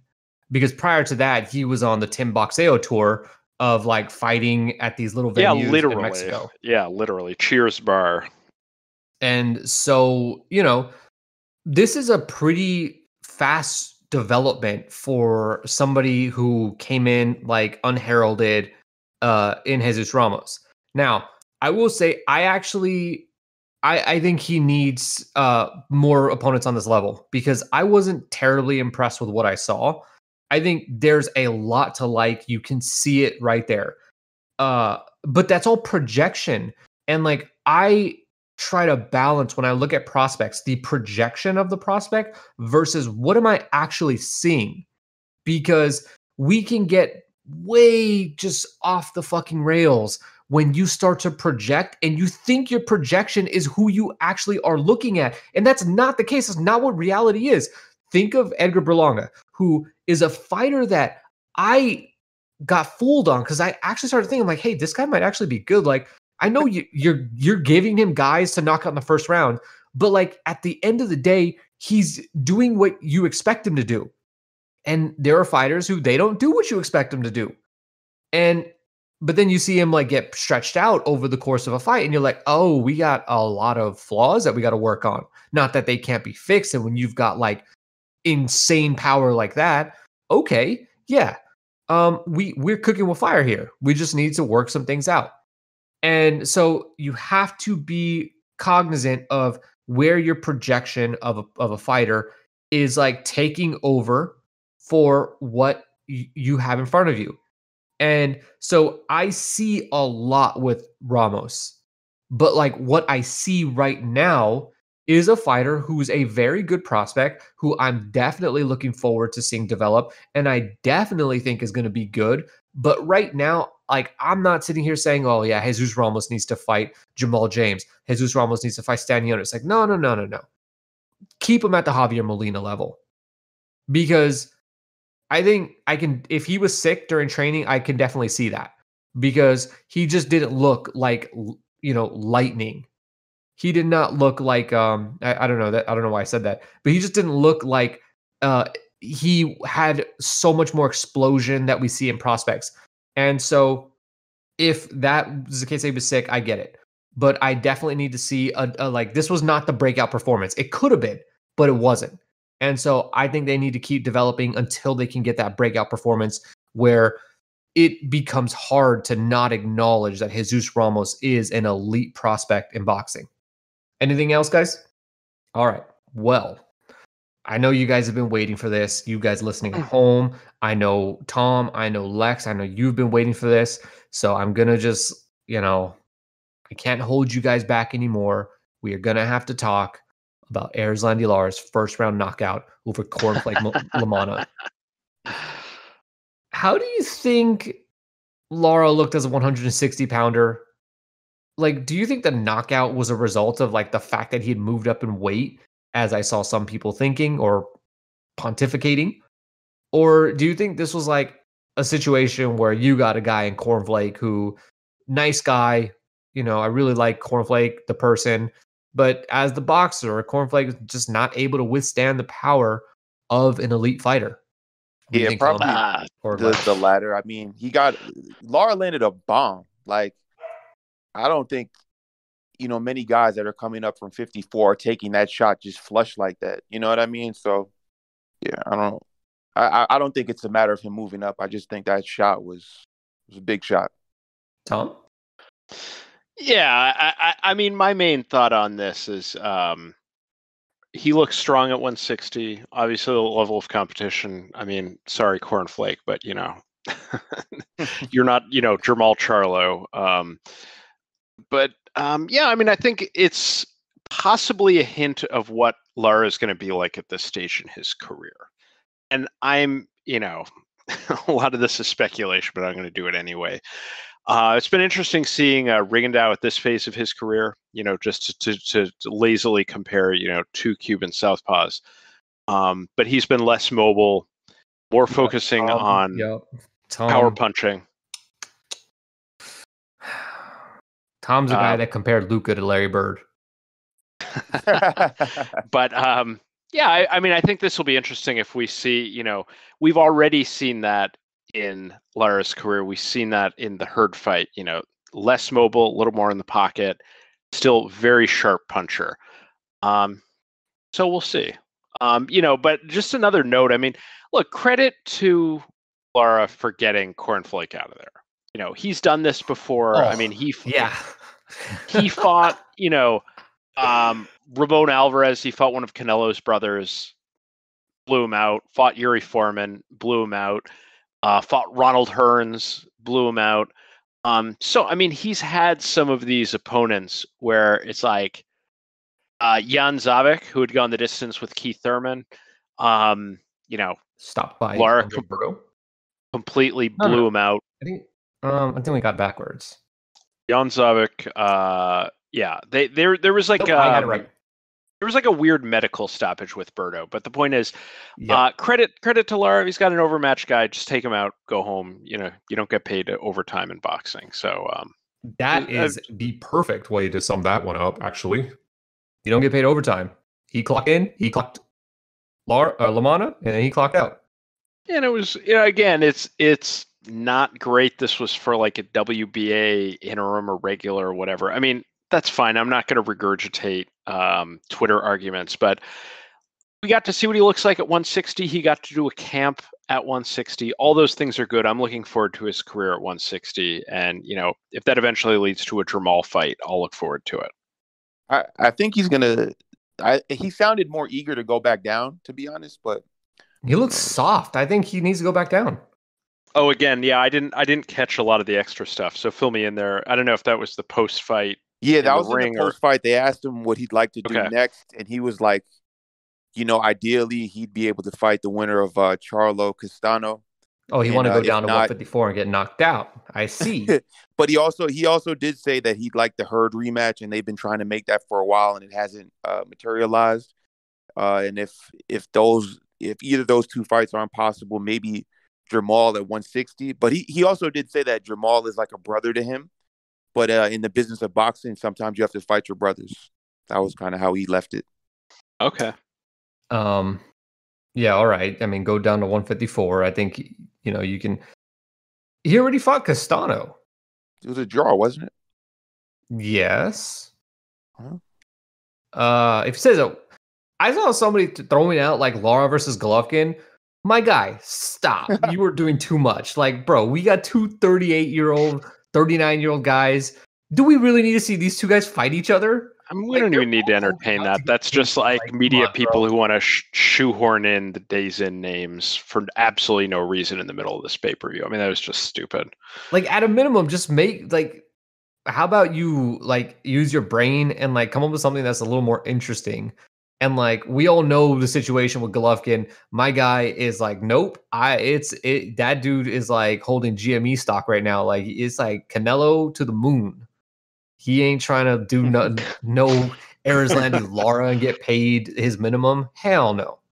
Uh anyway, do you guys think, by the way, first round knockout, don't care. That's my take. Um, do you guys think that as a fan, you got 50? Oh, should also mention uh, Eduardo Ramirez continues his little run. I don't know what he's done differently, but Yeah, I was hoping you were going to mention him. smoking dude. I mean, it's just like what what an eventful card last night. I feel like there were so many significant wins and performances, you know, from just at all different levels. And I mean, yeah, I definitely want to continue to see him at 126, no question. yeah, I mean, Eduardo Ramirez becoming. Hopefully, this is sustainable, but he is on one hell of a run right now at 126. And granted, he's not facing like no murders row, although you could argue that a murders row at 126 just doesn't exist. Fine. But like he is one of the guys at 126 just actually showing off crazy power. And I think it's time we get Mr. Gary Russell Jr. out of retirement. Get oh actually he uh no no we're, we're due for the yearly Gary Russell fight. I think I'd like to see that happen if the Rey Vargas fight don't come through. Uh Anyway. do you have an update on that Oh. or anything? Like, is that not happening now, or um me and Mr. Gary haven't quite talked lately, so I don't know. okay? Yeah, just just to say one more word about um uh one more word about oh god uh Ramirez. Um yeah, I mean when you were saying you don't know if this is sustainable. Yeah, it's like he has the losses earlier in his career, but I mean this to me doesn't look like a Jorge Lara situation or anything. You know, just speaking of like a kamikaze fighter at 126 who comes in guns blazing and then gets knocked out in the first round and retires. I mean, uh I mean he just to me looked good Uh, in this on. fight. Jorge Lara actually got shot. So yeah, it, got it- shot by Claudio Marrero in the no, no, no. Like somebody with a pistol blasted him. A little more to the before or after he got knocked people. out. I don't know. I don't Uh, really understand. I mean, I'm sorry he got shot. I don't know which part of the story that you're like disputing here. I mean, he I, I think there's a reason why Lara just kind of disappeared, and I don't think it was because he got knocked out. That's one of those I dudes. definitely that I did think, not know that he had gotten shot before that. Uh, yeah, he was pulling. I think the story goes he was pulling some money out the ATM. He got rolled up on, and the rest is history. Good thing he didn't lose his life or anything, but yeah, he got shot. Uh, October 31st, 2018, uh, which was six months after he got knocked out. So why are like What Uh, again, I'm sorry he got shot, but the, I, I'm trying to make a very simple point. Lara was a, a, reck, a fun but reckless fighter and eventually got knocked out. Uh, I'm just saying that Ramirez does not look like that to me. I thought he looked. Uh, he, I thought he showed punching power and you know skills. I didn't think he was fighting in a reckless way. So um, it's like, yeah, he has the the earlier loss in his career, but he seems to be in a good place right now. Yeah, I, I- really hope it's sustainable because it's fun when you have a guy at, in, in a lower weight class who's just like, I mean, look at the the excitement around Inoue. Look at the excitement that was that we had with Donaire or Darchinyan. When you have these smaller guys that knock dudes out you- in a way that you don't typically see in that division, it brings a lot of excitement and it also brings a level of attention to the division that typically it doesn't get. Uh, anyway, we have to. Oh, actually, a c- couple of quick questions here. Um, do you think the fans got fifty dollars worth uh last night? Yeah, absolutely. yeah, yeah. I- I'll go real quick. Yeah, for sure. I mean, I for me, the true measure of like this was a good fight is do my non-boxing group chats are they talking about it? And and two of them were. They were talking about Lara, they were talking about Ruiz and Arreola. So I think I definitely think uh PBC had a hit last night. Um, Tom, you want to give some praise to the matchmakers for some of the fights last night?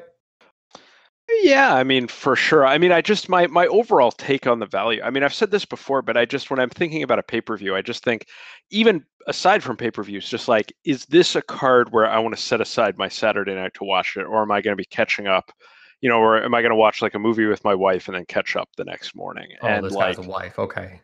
Yeah. Way to brag. oh, but what uh, you know, insert whatever here. I don't know, like Fortnite streaming or something, whatever me else you have going have on in your life. Um, but uh, no, I'm not going to say something. anyway, um, but uh, sorry, I threw myself off with my. We're just making much, jokes, guys. We like to pick at Tom. too much other stuff going on in the world right now. Uh, but anyway, um, no, I mean it's just I just think like is this you know an evening I want to set aside, and this was this, just from top to bottom again. Even going back to the prelims, I mean yeah, the the cornflake fight was ridiculous, but I definitely got entertainment value out of it. You know, I uh, the Ramirez fight was great, and and all four on the main card. I mean, um, you know, different different levels of things. I mean, it was clearly the biggest step up of Jesus Ramos's career. You know, he's moving forward. The Fundora fight was just all action. Um, the the Abel Ramos fight again very eventful, and then you know we already went in at length about uh, the value that we feel like we got out of the main event. So, um, yeah, I think it was, and I, I mean I feel like that argument has just been clearly won. I mean the the attitude all over boxing Twitter is basically like, I mean it was kind of funny because people were like posting memes saying like, oh, are you going to waste your money buying the pay per view or whatever? But I mean that stuff aged poorly. Yes. Like people weren't saying that this morning. Everyone was talking about what a you know all of the different things that happened all you know it was um yeah i mean it was just an extremely eventful evening uh just action all night it was great Um, yeah, and I actually like it was actually really entertaining, like even outside of the fights, I will say.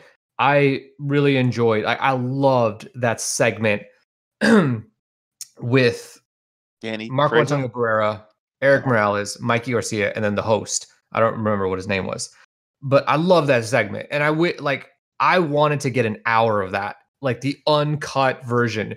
Uh, I don't know if you guys are familiar with WWE Network has this show called Legends Table where they'll get like three somewhat related figures, put them at a table, and let them talk about things.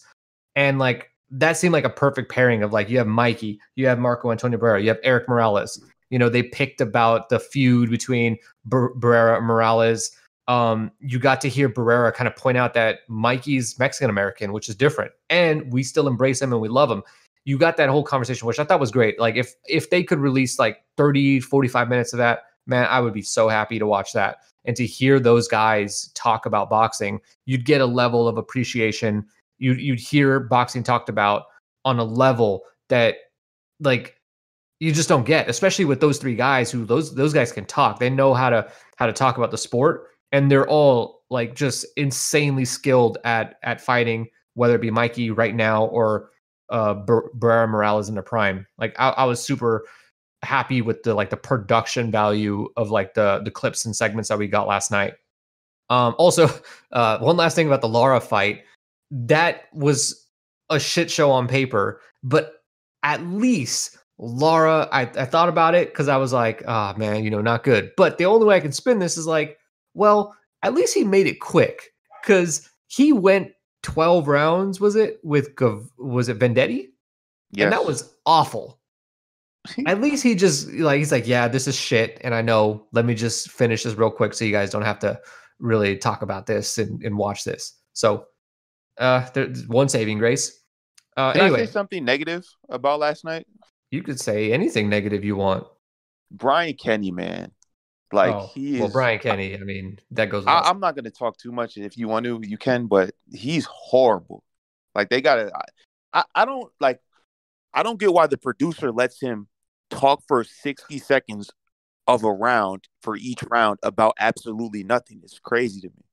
Yeah, I, I, I mean, look, anybody who listens to this podcast on a regular basis knows that we don't like Brian Kenny. We think he's awful, which sucks because Brian Kenny has a really good voice, really good presentation for for doing commentary. The only issue is that he thinks he's doing a debate show. He thinks he's like having his podcast there, and it's like, nah, bro, you are call. You're like the play-by-play guy. Like call to plays.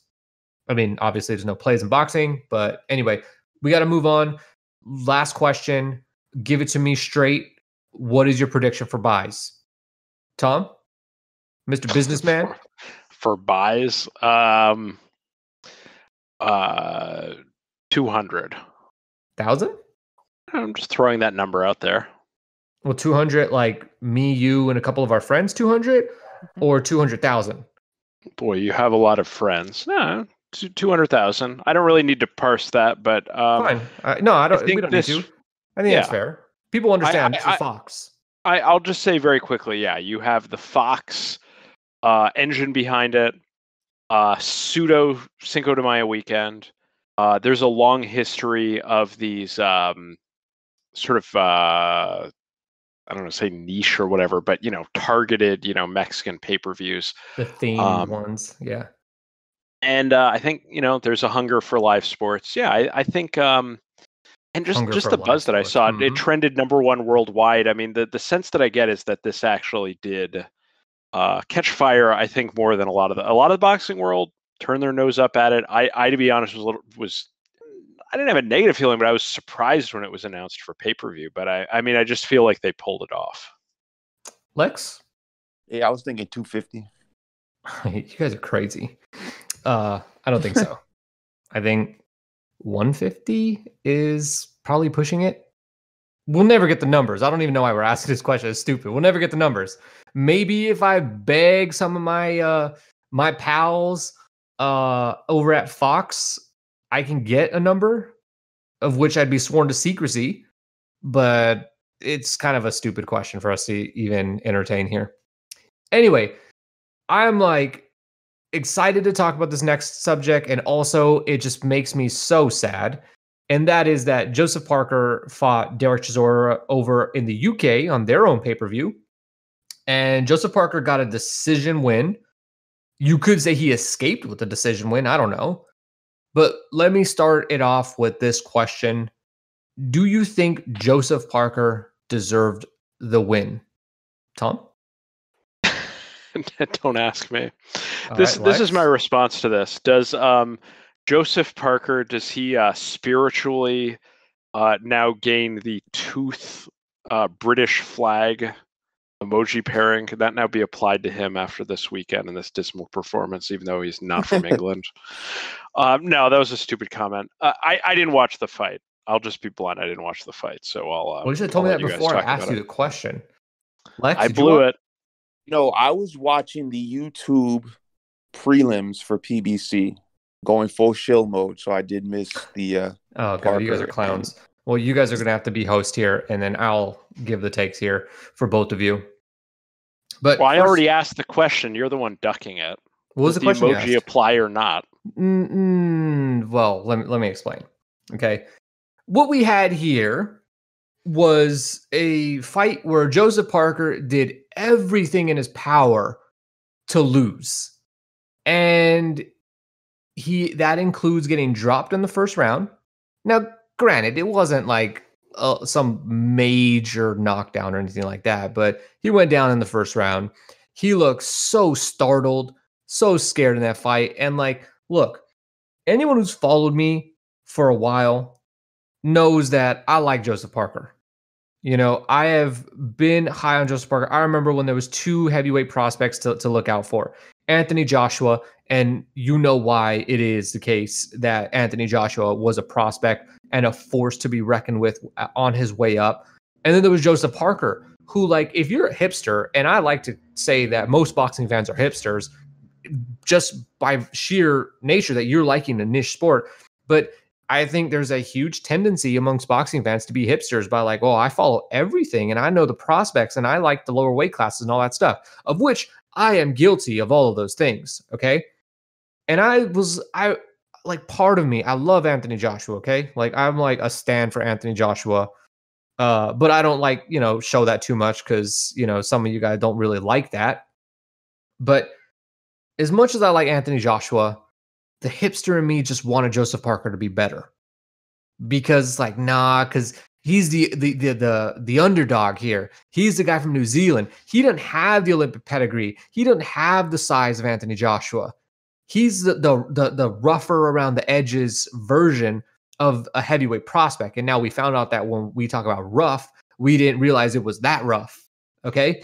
But I really wanted Joseph Parker to really be something. I was really happy when he won the heavyweight title um, by beating Andy Ruiz. even though, and that was a fight where like that was a 50 50 fight between two prospects who'd proven absolutely nothing in their careers at that point. And so all this love for Joseph Parker has ultimately just been not rewarded in a single way because the Ruiz fight, he didn't really distinguish himself in that fight. I mean, he did the like the minimum required to get past Andy Ruiz. And then the fight with Dillian Whyte was awful in the sense that it's like you knew walking out of that fight, Joseph Parker's better than Dillian Whyte. He just, for whatever reason, mentally or otherwise, could not get it together to win this fight. And in this fight against Dereck Chisora, it was, I mean, I don't know. He it's like he didn't want to win. I, I don't even know how, how to talk about it. Like Dereck Chisora, I mean, credit to Dereck Chisora. You know, he's a guy that I've learned to like well, I first liked him and then I didn't like him. And then I've learned to like him again because the guy is just like, he knows what he is. He's going to give it a go. He's going to gas out. And then that's your opportunity. And Joseph Parker just could not seize it.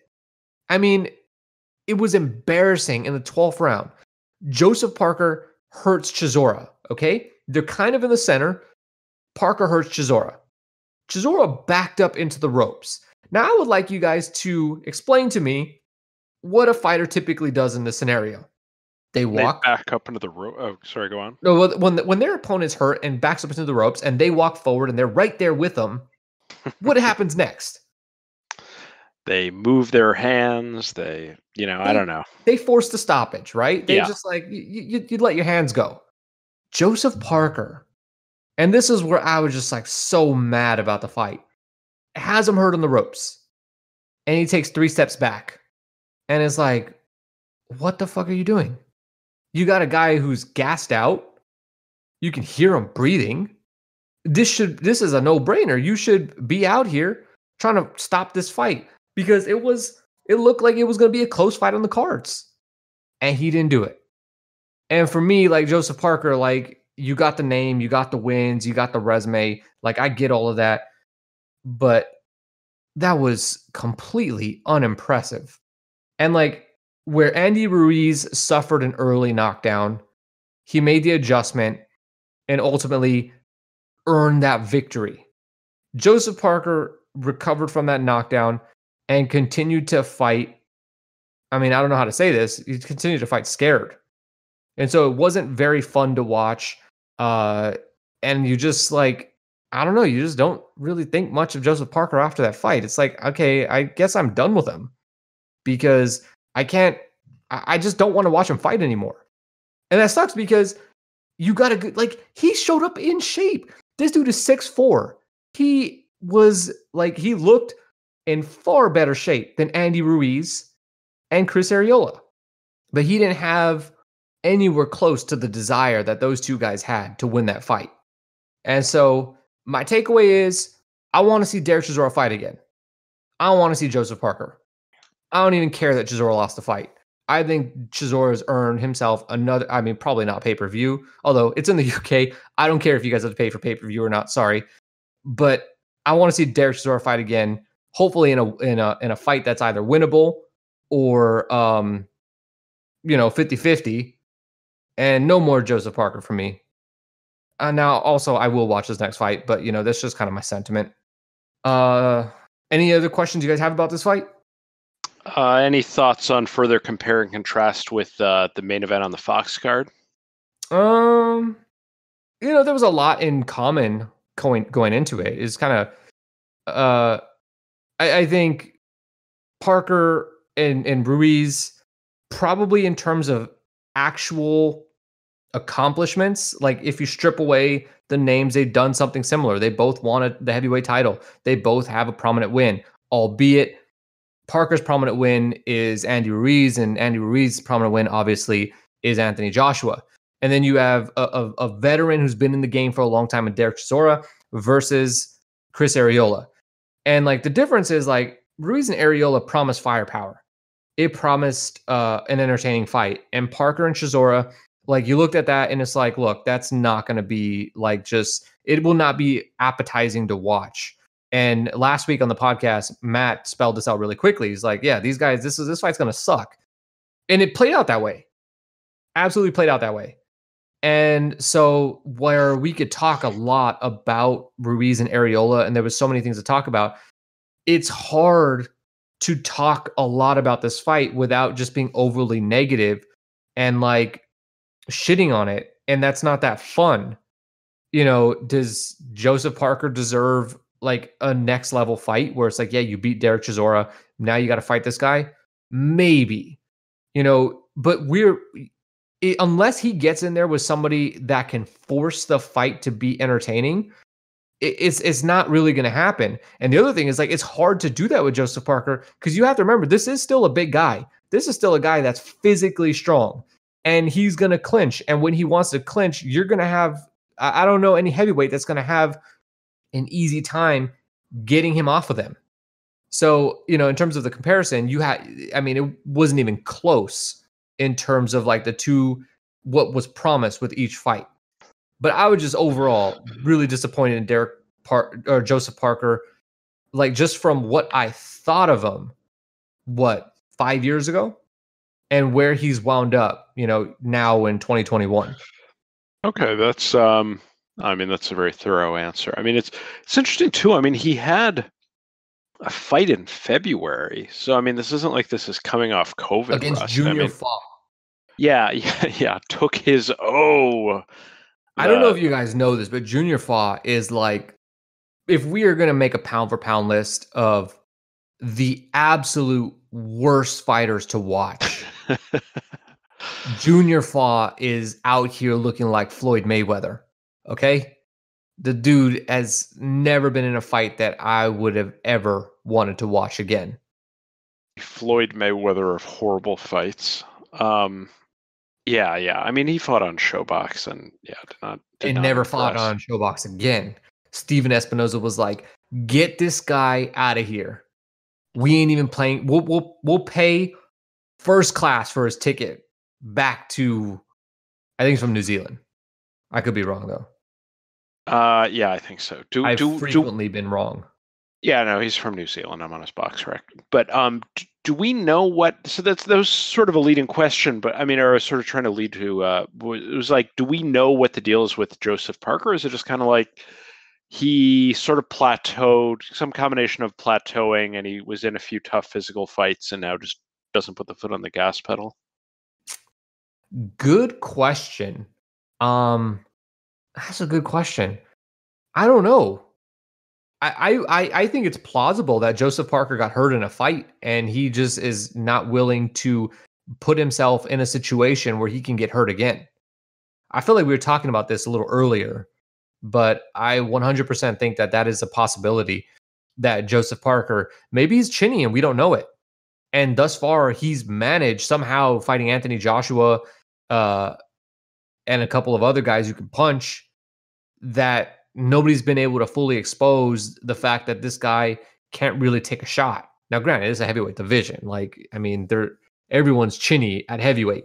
The question is who's hittable, and he's made himself basically unhittable at heavyweight.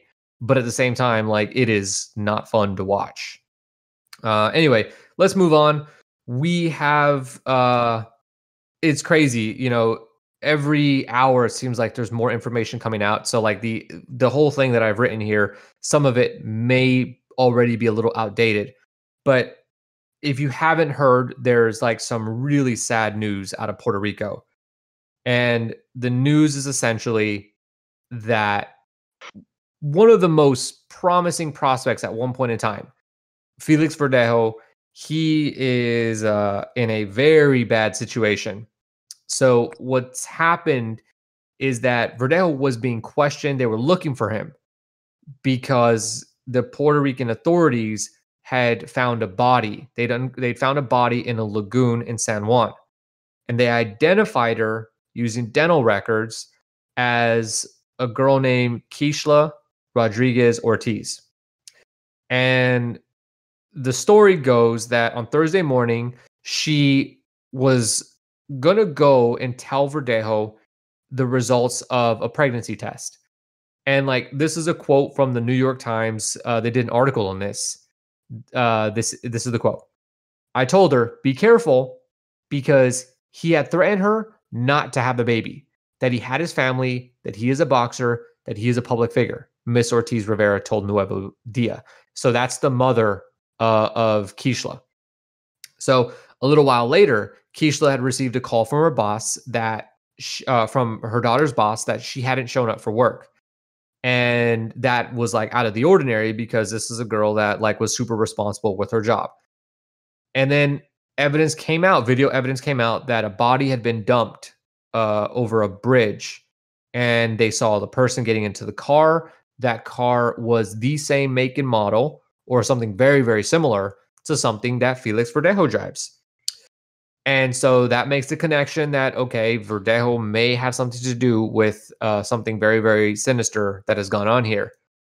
And so just a little while ago, it reported, it was reported that he had turned himself into authorities, which has resulted in charges being filed. Uh, the charges are kidnapping resulting in death, carjacking resulting in death, and killing of an unborn child. And I could go into the details from the from the arrest record here of what it is that actually happened and it sounds and i'm not going to do that. You should but if you want to go look it up. Um, this is everywhere. The new everyone has picked up this story. What actually happened or is they're they're claiming has happened is absolutely terrible. And it is as a podcast here where we have talked extensively on felix verdejo from being so excited about the potential of who he could be and what he could have represented. Could you know earning praise as potentially the next Felix Trinidad one of the most revered Puerto Rican fighters in history. And to doing this it is absolutely tragic. It is a terrible downfall. And uh it looks like he is guilty here and he is facing potentially a death penalty case. And it is, you know, I just feel for the family. I feel for his his daughter that we see him with on Instagram. I mean, it's just so terrible. We're not going to talk about that, you know, or get into this. This is not the podcast for that. We are not crime experts. Uh, this is a boxing podcast, but like it, it would be irresponsible of us to just ag- not acknowledge that this is happening and you should definitely you know if you want to find out more information go look at really any news website right now and they will have coverage of this. This is like a huge story in puerto rico right now with like every uh news outlet covering it with like an actual like th- their tv people are there and everything. So there's no good way to segue out of that. It's awful okay yeah, I'll just since I'm on, I, I just yeah, all, all you can really say again is it's horrible. Just you know, wish the best for the families that have been you know family members whose lives have been destroyed, and you know, I mean, it's just it's just horrific. Yeah, I mean, the and and as you said, it, it very very fast moving story. So you know, who knows what other developments there could be in the next you know could be happening right now as we're recording this. We just don't even know yet. So it just does not serve any purpose to get into this in any more detail. Yeah. So we'll have to just we're stopping. That's we're we're not talking about that anymore, and we're gonna move on to the next subject. No good way to segue out of it. So Floyd Mayweather announced uh, on his social media platforms. I don't remember even how it happened anymore, but he announced that he is indeed returning to the ring he will be facing Logan Paul on Showtime pay per view. Now, I don't want to say I told you so, but I kind of told you guys this a while back. So there are a ton of things to talk about related to this. And first of all, I think the most interesting thing to talk about is um, Logan Paul is 190 pounds. Do we think he could knock out Floyd Mayweather? No, I'm kidding. This event is taking place on a Sunday. That's not the day that Floyd usually fights. So I imagine that we are going to be expecting a much different demographic of fans. The cross section of people who's going to be tuning into this is not the same people that tuned in for, say, Mayweather Maidana. So what do you think about this move to place it on a Sunday? How do you guys where do you guys sit on that one? Lex? I don't know, Tom. I was I was looking forward to hearing your response. Curious what you have to say. I have no idea. I mean, even before you got to the question, I was really Tom, gonna- move your mic closer to your mouth. Yeah, sorry about that. Anyway, um, even before you got um, onto this question, I honestly that was the thing that was bouncing around my head. Uh, just, just again, how weird that is. I really don't have a good answer. I, I think you actually did touch on it, so I'm sorry if I'm stealing your answer, but I think it could be just to signal that it, you know, differentiation that this is not the same. Is not Saturday night. Uh, it's not, you know, just just it's a separate product than Showtime's normal offerings. But yeah, I don't really get it. I mean, just on every level. I mean, honestly, it, it just just it. I just had the vague thought that popped in my head, like flights are super cheap right now, and I could definitely get a press credential. I was like, oh, would it be worth flying down, uh, just doing, you know, just fly out in the morning, spend the day in in Miami, uh, take a red eye back, or you know, stay in a hotel and and come back the next morning. But it's like no, it's a Sunday night, which makes everything so much more difficult. So I don't. I mean, I'm really interested to hear if what if either of you guys have an answer because I do not get it. I do. Of course I do. You think I come to these podcasts not ready to have answers for everything? Come on now. First of all, I'll say this. I don't like it. I, well, actually, let me hedge myself. I don't know if I like it. How about that? But Like what? The Sunday, the fight being on a Sunday, or the fight itself? I don't know if I like it. I don't know if I'm ready to go and say I don't like it. Because like what else are we doing on Sunday nights? Like we're recording the podcast? Like I got nothing else to do if we don't record the podcast, guys. Like I'm just going to be playing video games or something, all right? So it's not like I do anything on a Sunday.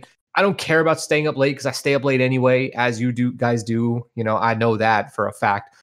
Um but here's if I try to you know, I'm just trying to like look at it. Like, could it be the venue? I don't think it's a venue because like they could have done this fight in plenty of places, and I highly doubt that it came down to this was all we had available. They would have just moved the date. Floyd Mayweather fights when he fights. Like, because you got to remember, there's no prize fighter in the world that has the leverage that Floyd Mayweather does he walks in the room and can command whatever he wants. And that's by nature of this is the money man.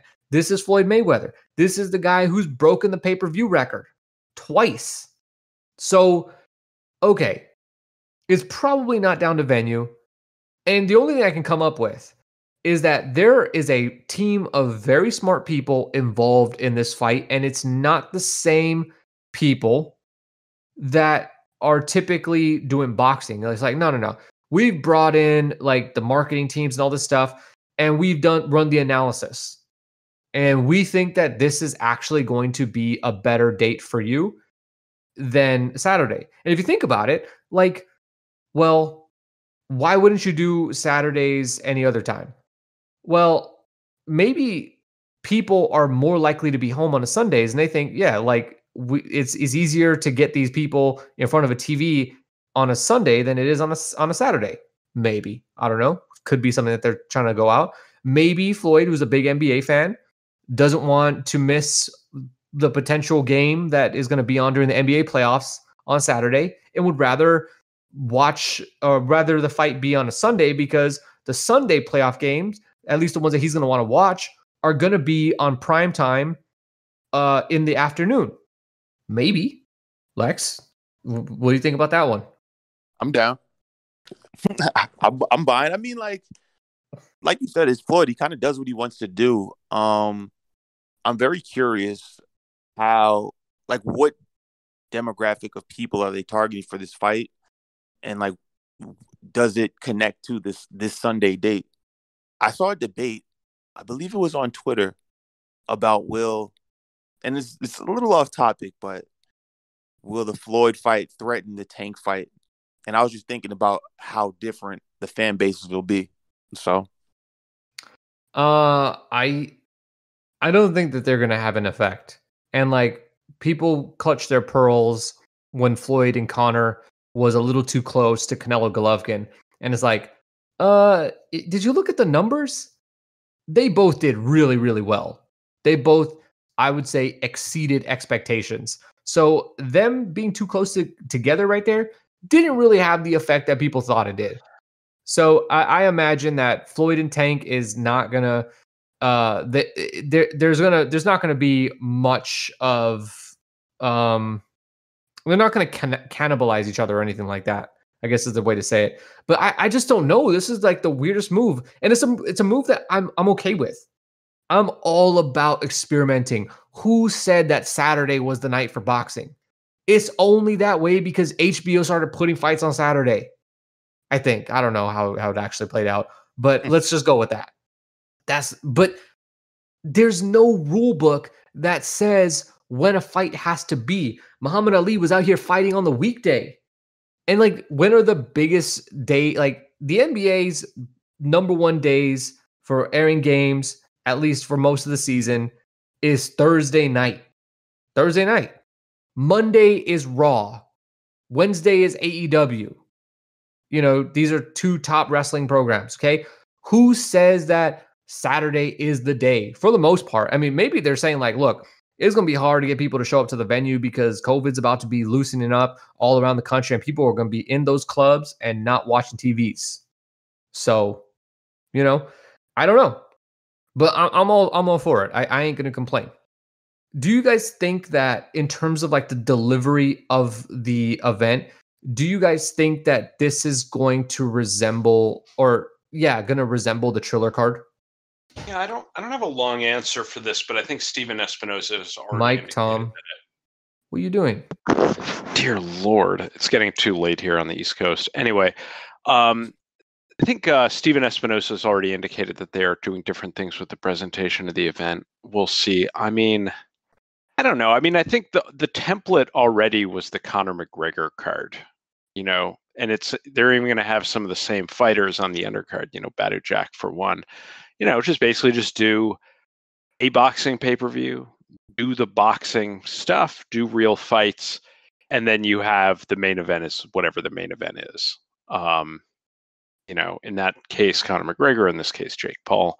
Uh, excuse me, Logan Paul. Um, that's what I would like, and I think that's a good question to see what they actually will do. Like I said, Stephen Espinoza has already hinted that. Do you guys have a take on that? I just yeah, think that I think we're gonna be... go on. Oh, I'm sorry. Go on.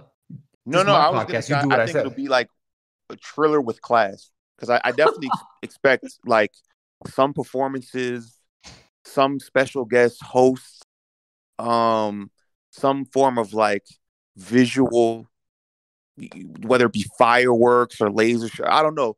I, I I expect Stephen Espinoza to really do something special with this card. What it'll be, I'm not sure but I definitely don't think it'll be as wild and like unhinged as Triller is. So I'm looking forward to seeing the presentation, and I think the undercard is going to be banging.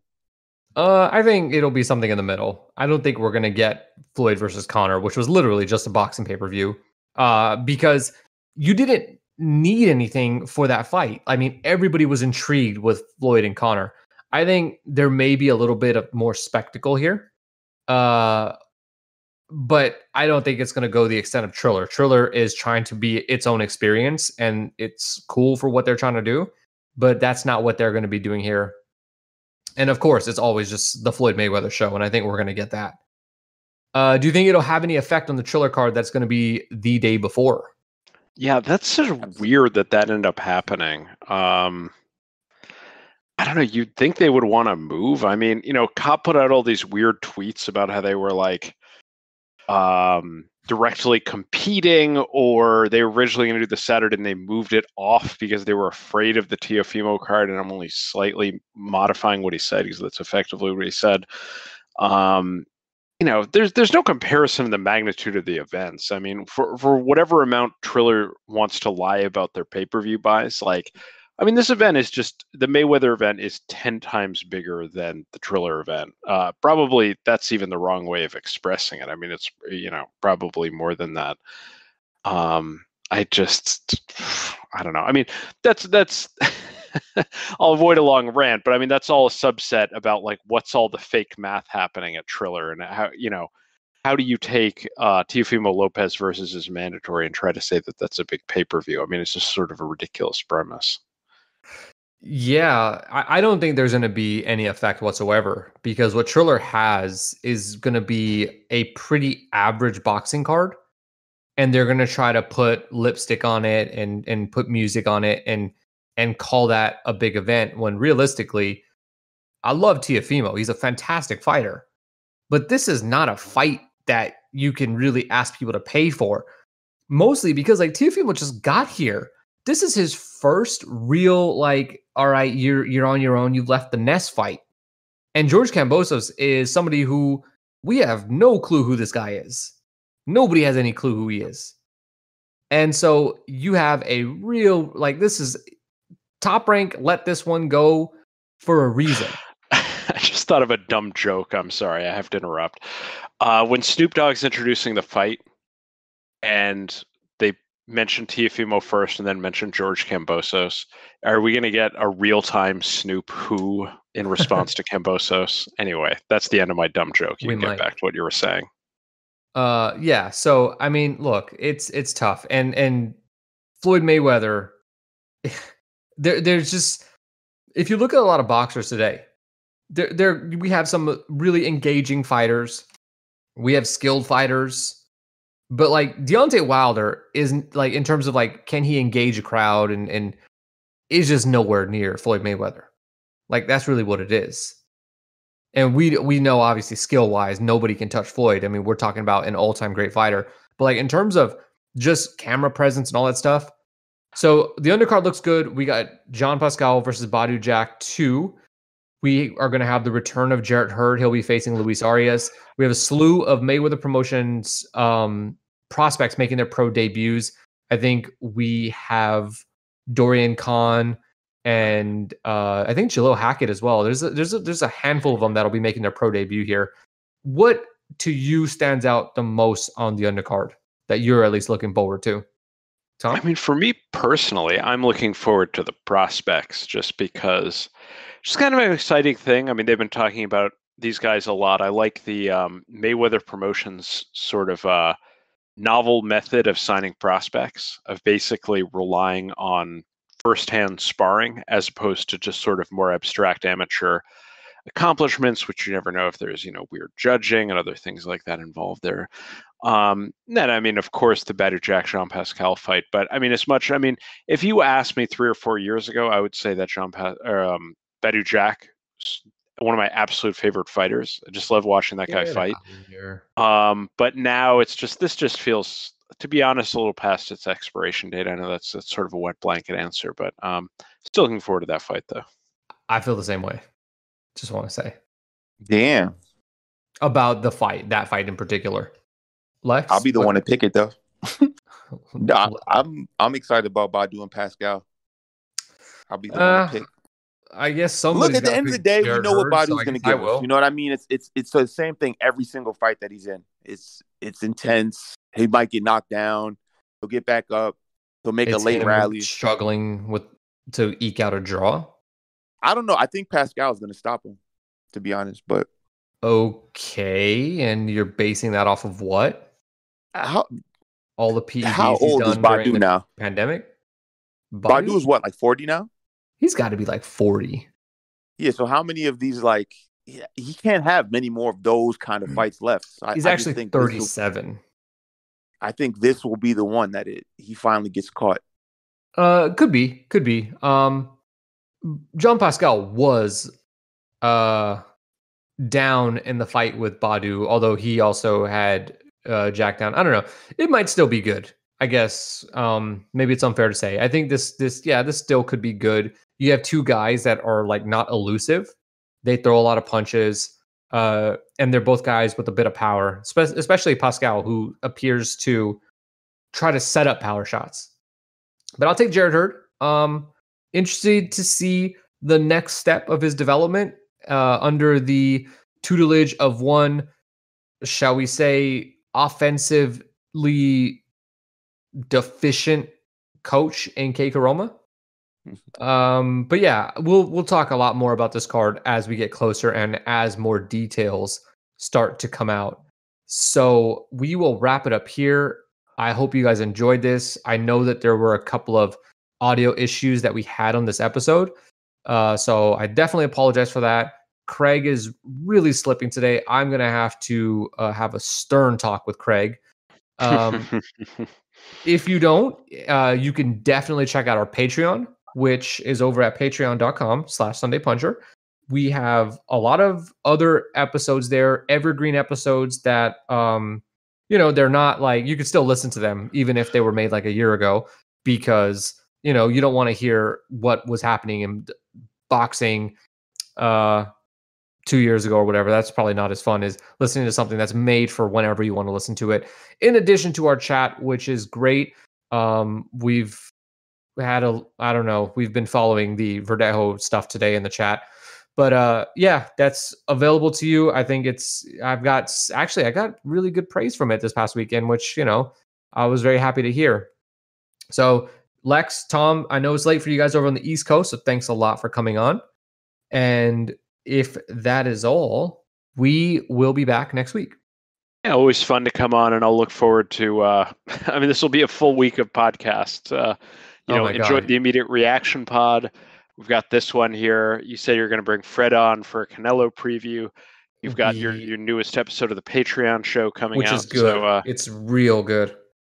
I look forward to it. I mean, this is not uh, kayfabe. I, I don't know what the Boxeo pod? episode is, so I'll, I'll look forward to that. Yeah, I got Tim Boxeo pod as well. We have Uh, the mailbag pod, which we will have a brand new host come on for that one. We'll also keep that one under wraps. But Very yeah, interesting. Tim Boxeo Pod, definitely, definitely, definitely subscribe to that. Um, it is.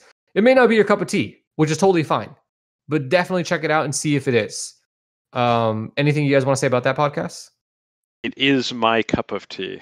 I mean, I just, I, I, I- I really enjoyed it. I mean, um, you know, we've we've chatted offline about it a lot, but I mean, it's it's just like a great mix. You know, it's like Tim Boxeo for for anyone who who doesn't know who he is. If you're not on boxing Twitter, uh, he he streams club shows from around the world, and it's just like a really giving guy, really giving like member of the boxing community. And the show is just great. I mean, it covers it's like a mix of like stories from kind of the crazy world of international club fights and then gets into stuff which like helps kind of connect to the rest of like the boxing world focusing on like uh either guys we've been used to fighting at the world level who are kind of like fallen back down to kind of that level or fighters who are coming up uh who you know are at that level and look like they're destined for the world class level and also just relating when there are fighters fighting who have some kind of background that way. Like we mentioned jesus ramos a few times but um, he he directly had fought at a bunch of uh, some of the more notorious Tim Boxeo and venues on his way up, and you know now he's looking like uh, you know a likely future world champion. So, um, yeah, it's just great show. He could be the first guy who graduates from the like literally on as the podcast has existed, the first guy that graduates from well, actually, no. I, I'm waiting for the guy that we talk about on Tim Boxeo Pod that graduates to this podcast where we talk about him here and then ultimately graduates to world champion. That will be a proud Papa moment. Uh for me, you know, everything you said is accurate, but I I love the Kevin stories. Uh and if you don't know what Kevin is, Kevin is this dude uh, that we uncovered this weekend fighting on a club level show that has the sickest mullet you're ever going to see.